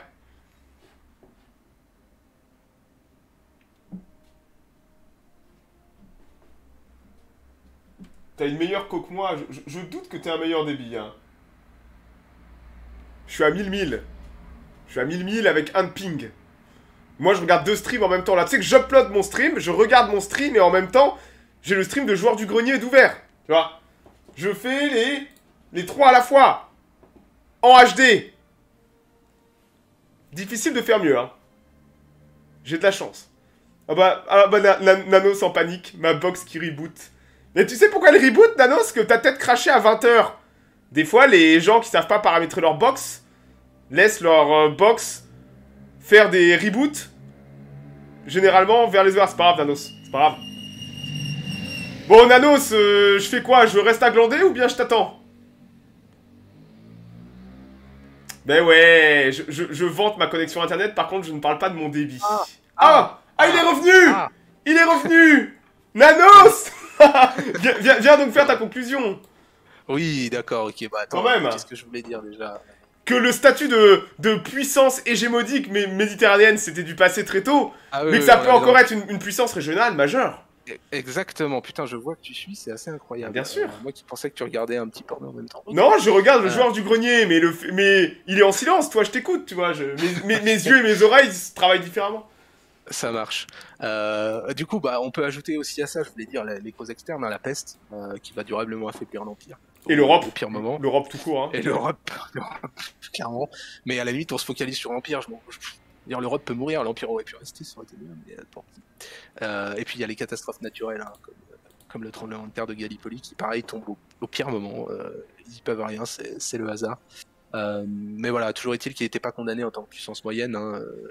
Euh, Il est clair qu'il était euh, sans doute condamné euh, comme la puissance euh, majeure qu'on connaît et sur laquelle beaucoup de gens, beaucoup de gens bandent un peu, hein, ce, qui, ce qui est compréhensible. Mais il y a, y, y, y un petit côté, nostalgique de... Ouais, bien sûr. Bah, c'est la fin de Rome aussi, de... c'est le, descendant de l'Empire romain. euh, Enfin, c'est quand même... C'est mille ans d'histoire, quoi, qui... qui tombe, tu vois. C'est pas juste une ville, euh, y a... Ah, je suis tout à fait d'accord. Ah, mais c'est ça. hein. Y a, il y a- en fait, il y a beaucoup de raisons qui l'expliquent, je pense. Mais ça fait partie ouais, des, des raisons. Y a, c'est, en fait, c'est la disparition d'un monde qui a survécu depuis quand même. euh, même si on prend que Constantinople, c'est quand même la fondation par, enfin la refondation par Constantin, c'est mille ans et quelques avant. C'est dingue. Il traverse mille ans d'histoire. Euh, Il y a autant, enfin, je veux dire, entre Justinien et Constantin XI, il y a 900 ans, c'est la distance qui nous sépare de, de Saint-Louis, quoi. Enfin, tu vois, c'est, c'est une Mais- histoire euh, Et, et folle. c'est ce que beaucoup disent, c'est qu'à l'époque, en Europe, dans les chancelleries, personne ne peut concevoir que Constantinople peut disparaître, en fait. Genre, pour tout le monde, Constantinople est éternel. Il y a une idée de... Non, mais vous avez- ces connards survivent depuis mille ans. Euh, et quand Constantinople chute en, en 1453, c'est un choc terrible en Europe. Parce que d'un coup, on se rend C'est- compte, putain, c'est la fin du... Enfin, personne ne pouvait concevoir que ça pouvait tomber, en fait. C'est vrai, ça dépend aussi après du. Les puissances italiennes, euh, et notamment celles marchandes, ont une conscience un peu plus précise de. Oui, ils de sont, ils sont plus affûtés. Ils, ils sont plus affûtés parce que euh, eux sont présents sur place en fait. Ils Tout ont, fait. ils ont accès Ouais, à beaucoup plus d'informations euh, que, que les chancelleries européennes de base. Bah, c'est loin, hein. Mais c'est ça, c'est loin. loin. Alors que pour les Italiens, c'est leur fonds de commerce. Il y a des marchands, il y a des colonies vénitiennes et génoises d'ailleurs qui vont défendre la ville hein, en 1453. hein. Ils vont mouiller le maillot aussi. hein. Ah, Et ben, c'est vrai. Ils sont, euh, ils sont lourdement impliqués dans la, dans la vie euh, politique euh, de, de, de, l'Empire. Pas, pas que pour le bien d'ailleurs, parce qu'ils vont foutre la merde. hein. Non, non, non, ils ont, ils ont une part de responsabilité, hein, c'est assez évident. Après, les, élites byzantines, on peut mettre à leur crédit. Alors, il y a, eu des guerres civiles, il y a eu du, bordel, mais dès que le, on, va entrer dans la période sale un peu de l'Empire, enfin les 100 dernières années, il y aura plus euh, aucune contestation de l'autorité impériale. hein. Tout le monde va resserrer les rangs et euh, il y aura vraiment un, front uni qui sera opposé aux Ottomans. Mais bon, c'est beaucoup trop tard. hein. Moi, je pense que hum, l'Empire, il chute comme. C'est un peu con à dire, hein, c'est un peu une phrase bateau, mais il chute comme chute tous les empires.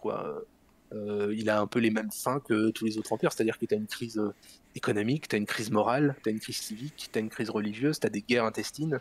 Euh, c'est ce qu'on retrouve, euh, je pense que tu prends Rome, euh, enfin Rome, la, la Rome, euh, qu'on connaît tous, euh, tu retrouves des mêmes marqueurs, même si ça va beaucoup plus vite pour Rome en, en quelques dizaines d'années, mais, euh, Ouais. mais tu retrouves un petit peu des, des choses qui sont communes à toutes les, Et bon, à ouais. toutes les chutes d'empire. La gangrène était là depuis longtemps, ça aurait pu tomber bien plus tôt au Constantinople. hein. C'est déjà un Ouais, miracle que c'est tenu aussi longtemps, je trouve moi. hein. Ça aurait pu chuter, il y a, mais ça aurait pu même chuter il y a, il y a 700 ans, enfin je veux dire euh, 700 ans avant. C'est, ça aurait pu chuter au premier siècle des Arabes, ça aurait pu Ouais, c'est ça. chuter au siècle des Perses et des Avars. ça pu On, on, on oublie que les, on oublie que les Arabes ont, ont fait, ont fait, ont fait le siège aussi de. euh, Ah bah, Constantinople, hein, c'était- les euh, les Avars et les Perses l'ont fait, euh, beaucoup de gens l'ont fait. hein. C'est, c'est une ville euh, qui a été, euh, on a beaucoup rêvé de la prendre. Après, voilà, la, la chute de Constantinople, c'est un peu l'acte final de, de, de la tragédie, c'est un peu une histoire tragique. Après, il y a chez certains auteurs euh, de l'époque, hein, même, même byzantins, euh, une espèce de conscience qu'on a euh, ce qu'on appelle en une translation impériste, c'est-à-dire euh, bah, en fait la chute d'un empire, c'est relativisé parce que c'est la marche normale du monde. On a un autre qui prend sa place, qui est l'empire ottoman. Et Bah, finalement, on- l'empire ottoman est un continuateur, même. C'est un continuateur. euh, Surtout que eux se considèrent voilà. comme tels sur beaucoup d'aspects, et ils le sont. Sur beaucoup d'aspects, euh, moi j'ai- j'aime j'aime beaucoup que les, les, que les sultans ottomans se, se marraient quand on disait qu'ils étaient turcs. Euh, ils sont pas turcs les ottomans. Au cas, l'élite ottomane ne se considère pas du tout comme turc. Au contraire, c'est très insultant. Euh, les, les Turcs, c'est les paysans, c'est la, c'est la plèbe qui est turque. mais eux se voient vraiment comme les, la, la continuité pol- politique et sociale. Mais ils le sont. De, Ils ils, le ils sont. le sont sur beaucoup d'aspects. Et nous, avec le recul historique, il y a l'aspect euh, religieux hein, qui fait que Mais- mais c'est ça. à- à envisager ça, mais il y a des y a des auteurs de l'époque. Il y a, hum, enfin bon, euh, je, je veux pas vendre, a pas d'accident dans le truc, hein, mais il y a un des bouquins euh, que j'ai mis dans la bibliographie qui est très intéressant, c'est que les paroles des, des, des chroniques de l'époque et des gens qui, bah, voilà, disent ce qu'ils pensent à cette époque-là, et tu retrouves effectivement l'idée que, bah, bon voilà, on était un empire un peu en train de crever, un peu pourri, en a un nouveau qui prend notre place. euh, normal, hein, c'est comme ça que marche le monde. Et qui va mettre des baffes, Donc, euh, hein, et qui après lui- lui-même va s'effondrer de la même façon, ou en tout cas euh, se faire. tous les empires. Voilà, comme c'est font ça. tous les empires. hein, euh, c'est Exactement. c'est la marche, hein, logique. Hein. C'est normal. Ouais. Bon, moi, j'en ai, j'en ai terminé. Euh, je reviendrai, je reviendrai. I will be- française. I will be back. J'ai peur que ce soit, je sais pas comment je vais faire ça. ça- Je vais la diviser. Je pense que voilà, on, on en discutera nous. Je vais la diviser en deux. Et puis euh, il y a déjà bah, Justinien et puis les guerres austro-gothiques, enfin les guerres gothiques qui sont programmées, donc ça va être cool. Ah merci, c'était très chouette. Euh, Bah euh, tant mieux, tant mieux. Et puis surtout, euh, euh, 2h15, putain, euh, Nano, c'est une foire au livre rapide et, et condensée, efficace, bien illustrée. euh, voilà le modèle parfait que je veux, 2h15. Ça me va, vous tuez pas pépé sous 3h30 de contenu et 150 Mais je- photos, euh, pff, perfection. Mais, mais je, je, encore une fois, je paye ma réputation euh, salie après une atroce fort au livre sur la Révolution russe. Ah non, elle, était, elle, était, elle, elle était très intéressante, tu m'as juste tué ce jour-là. Ouais. euh, Non, non, mais je sais, mais je n'ai jamais fait de truc de 3 heures. hein. Ça- les gens avaient l'impression que ça avait duré 4 heures, mais je suis que non, je suis pas sûr que c'était 2 heures et quelques. Mais, euh, mais Ah ouais. toi- je toi- reviendrai et puis. Mais bien sûr, tu, tu reviendras. En tout, en tout cas, elle est excellente. Hein. C'est Bah, tant mieux, tant mieux. Donc ouais, ceux qui jouent à EU4, le jeu commence juste après la bataille euh, de Narva. Pour pas avoir à, à montrer dans le jeu, c'est bah, une, une- une espèce de croisade à la con euh, qui sort de nulle part on serait emmerdé de comment la justifier. Donc on- le jeu Ouais, commence ouais, à, ce moment-là, parce que c'est une date un peu butoir pratique. Ouais, c'est c'est une, c'est une croisade, une mini croisade dans le sens où c'est pas, ça réunit des acteurs locaux en fait. Hein, C'est c'est une offensive des, du roi de, des compagnies contre, contre les Ottomans. Mais, euh, mais ouais, ça, ça commence là, ouais, ouais, ouais, complètement, complètement. Et euh, l'Empire byzantin euh, fait plus la gueule que dans tes parties. a priori. Ah ouais. a tendance à lui rajouter des territoires. Ouais là, bon, bah, il, il y a pas le choix, il, faut lui en donner quelques terres au machin, il, il lui faut des rentrées fiscales, l'impôt et tout, la prod, hein, Ah, ça va sinon... euh, compliqué. ouais. Ah, c'est un peu compliqué, ouais. Bref. Bon bah écoute, en tout cas, je te, encore une fois, comme d'habitude, euh, je te remercie. C'est moi, c'est moi qui te remercie. Nanos, euh, parce que bon, moi je, je fais pas grand chose, hein, euh, c'est pas Ouais, mais la boulot, hein. tribune que tu nous offres, c'est cool. Ça Bah, permet de partager, donc euh, c'est. D'ailleurs, regardez en bas, je euh, j'ai mis euh, mis sur Spotify euh, les foires en livre. Je suis en train de les mettre parce qu'il y en a tellement, il y en a plus de 84 je crois avec la tienne maintenant. Ceux je sais qu'il y en a plein qui écoutent. Alors moi Spotify j'y touche pas, mais je sais qu'il y en a pas mal qui écoutent en format audio. Euh, ce qui peut être pratique je pense. Donc euh, je les ai mis sur Spotify. Peut-être que certains sur Spotify ou pas. Si un jour il y en a qui veulent que je les mette sur d'autres formats. J'ai vu la durée totale, j'ai beaucoup rigolé. Ah oui, oui. Je, eh, je dois être le, le seul mec sur Spotify, genre de, de toute la plateforme, qui ait jamais écouté une seconde de quoi que ce soit et qui a plus genre de 100 heures de contenu. Ah ouais, 100 heures, t'es gentil, je pense que ouais, ça va être beaucoup plus. Oh putain la fois. Bref, bon bah écoute, euh, merci encore et puis euh, salut tout le monde. Mais salut, salut, Bonne Nanos. À la Bonne prochaine. à vous. Merci à toi. Allez, ciao. Et ouais, donc merci à lui, c'était c'était très cool. C'était très cool. Et je vais. Alors demain, demain, j'ai pas de minute géopolitique, Barnabou est pas dispo. Euh, donc je ferai un peu d'Empire. Euh, je lancerai mon run euh, Marat demain. Mon run Maran, euh, mon run, mon, mon run Marat euh, demain après-midi. Ça va être amusant de jouer les Marat après avoir joué euh, ma Suède avec les troupes pétées là. Euh, jouer les Marat. Euh, on va, on va sûrement faire du, difficile, difficile ou quelque chose comme ça. À quand City Skyline? Mais je sais pas, parce que City Skyline, euh, j'ai regardé, euh, il y a plein de modes, il me faut, il faut les DLC et tout, et, c'est un peu la merde. C'est un peu la merde. Je suis pas content de ce que. Et j'ai pas beaucoup de cartes non plus, donc je verrai, je verrai. Si je peux pas choper les DLC à une prochaine. Et les elfes, les elfes demain soir 20h, je continuerai Divide and Conquer, on continuera avec les elfes. Je sais pas s'il y a une minute archéo, j'ai pas eu la confirmation de Skyros. Avec Kat, on continuera le run euh, en tandem. Euh, on continuera le run en tandem. euh, Non, j'ai pas. Alors non, parce que c'est pas deux, c'est deux répertoires différents. Donc tu peux pas réécrire une save parce qu'elles sont pas dans le même répertoire. Et ouais, donc vendredi soir avec Kat, on continuera notre game euh, coop. Samedi, minute spatiale. Et après, on aura un Lord of the Rings sur les, les Ents. Vous savez, les, les- les méchants arbres là, qui cassent des culs. On parlera un peu des Ents, de ce que sont les Ents. Il y a pas mal de trucs sympas à faire, à dire sur les ailes. Et dimanche le 4. Donc saison 3 des euh, seconds. Qu'as-tu fait de notre argent? Bah je paye mon loyer, euh, connard. Tu sais combien je paye pour un 45 mètres carrés à Reykjavik? Hein? Va falloir penser à t'abonner plus souvent, hein, euh, Si tu veux que je fasse que ça, hein, hein Parce que... pour ceux qui sont intéressés, je mets souvent mes chiffres de ce que ça rapporte, les, pour ceux qui sont curieux, de ce que le business sur Twitch rapporte. Je mets souvent mes chiffres sur le Discord. Voilà. Certains fantasment un peu de ce que ça rapporte. Putain. Bon, allez, je m'arrête là. Merci à Nanos pour sa foire au livre. Et euh, passez une bonne soirée, euh, bonne fin de semaine. Et je vous dis à ciao ciao. Salut tout le monde.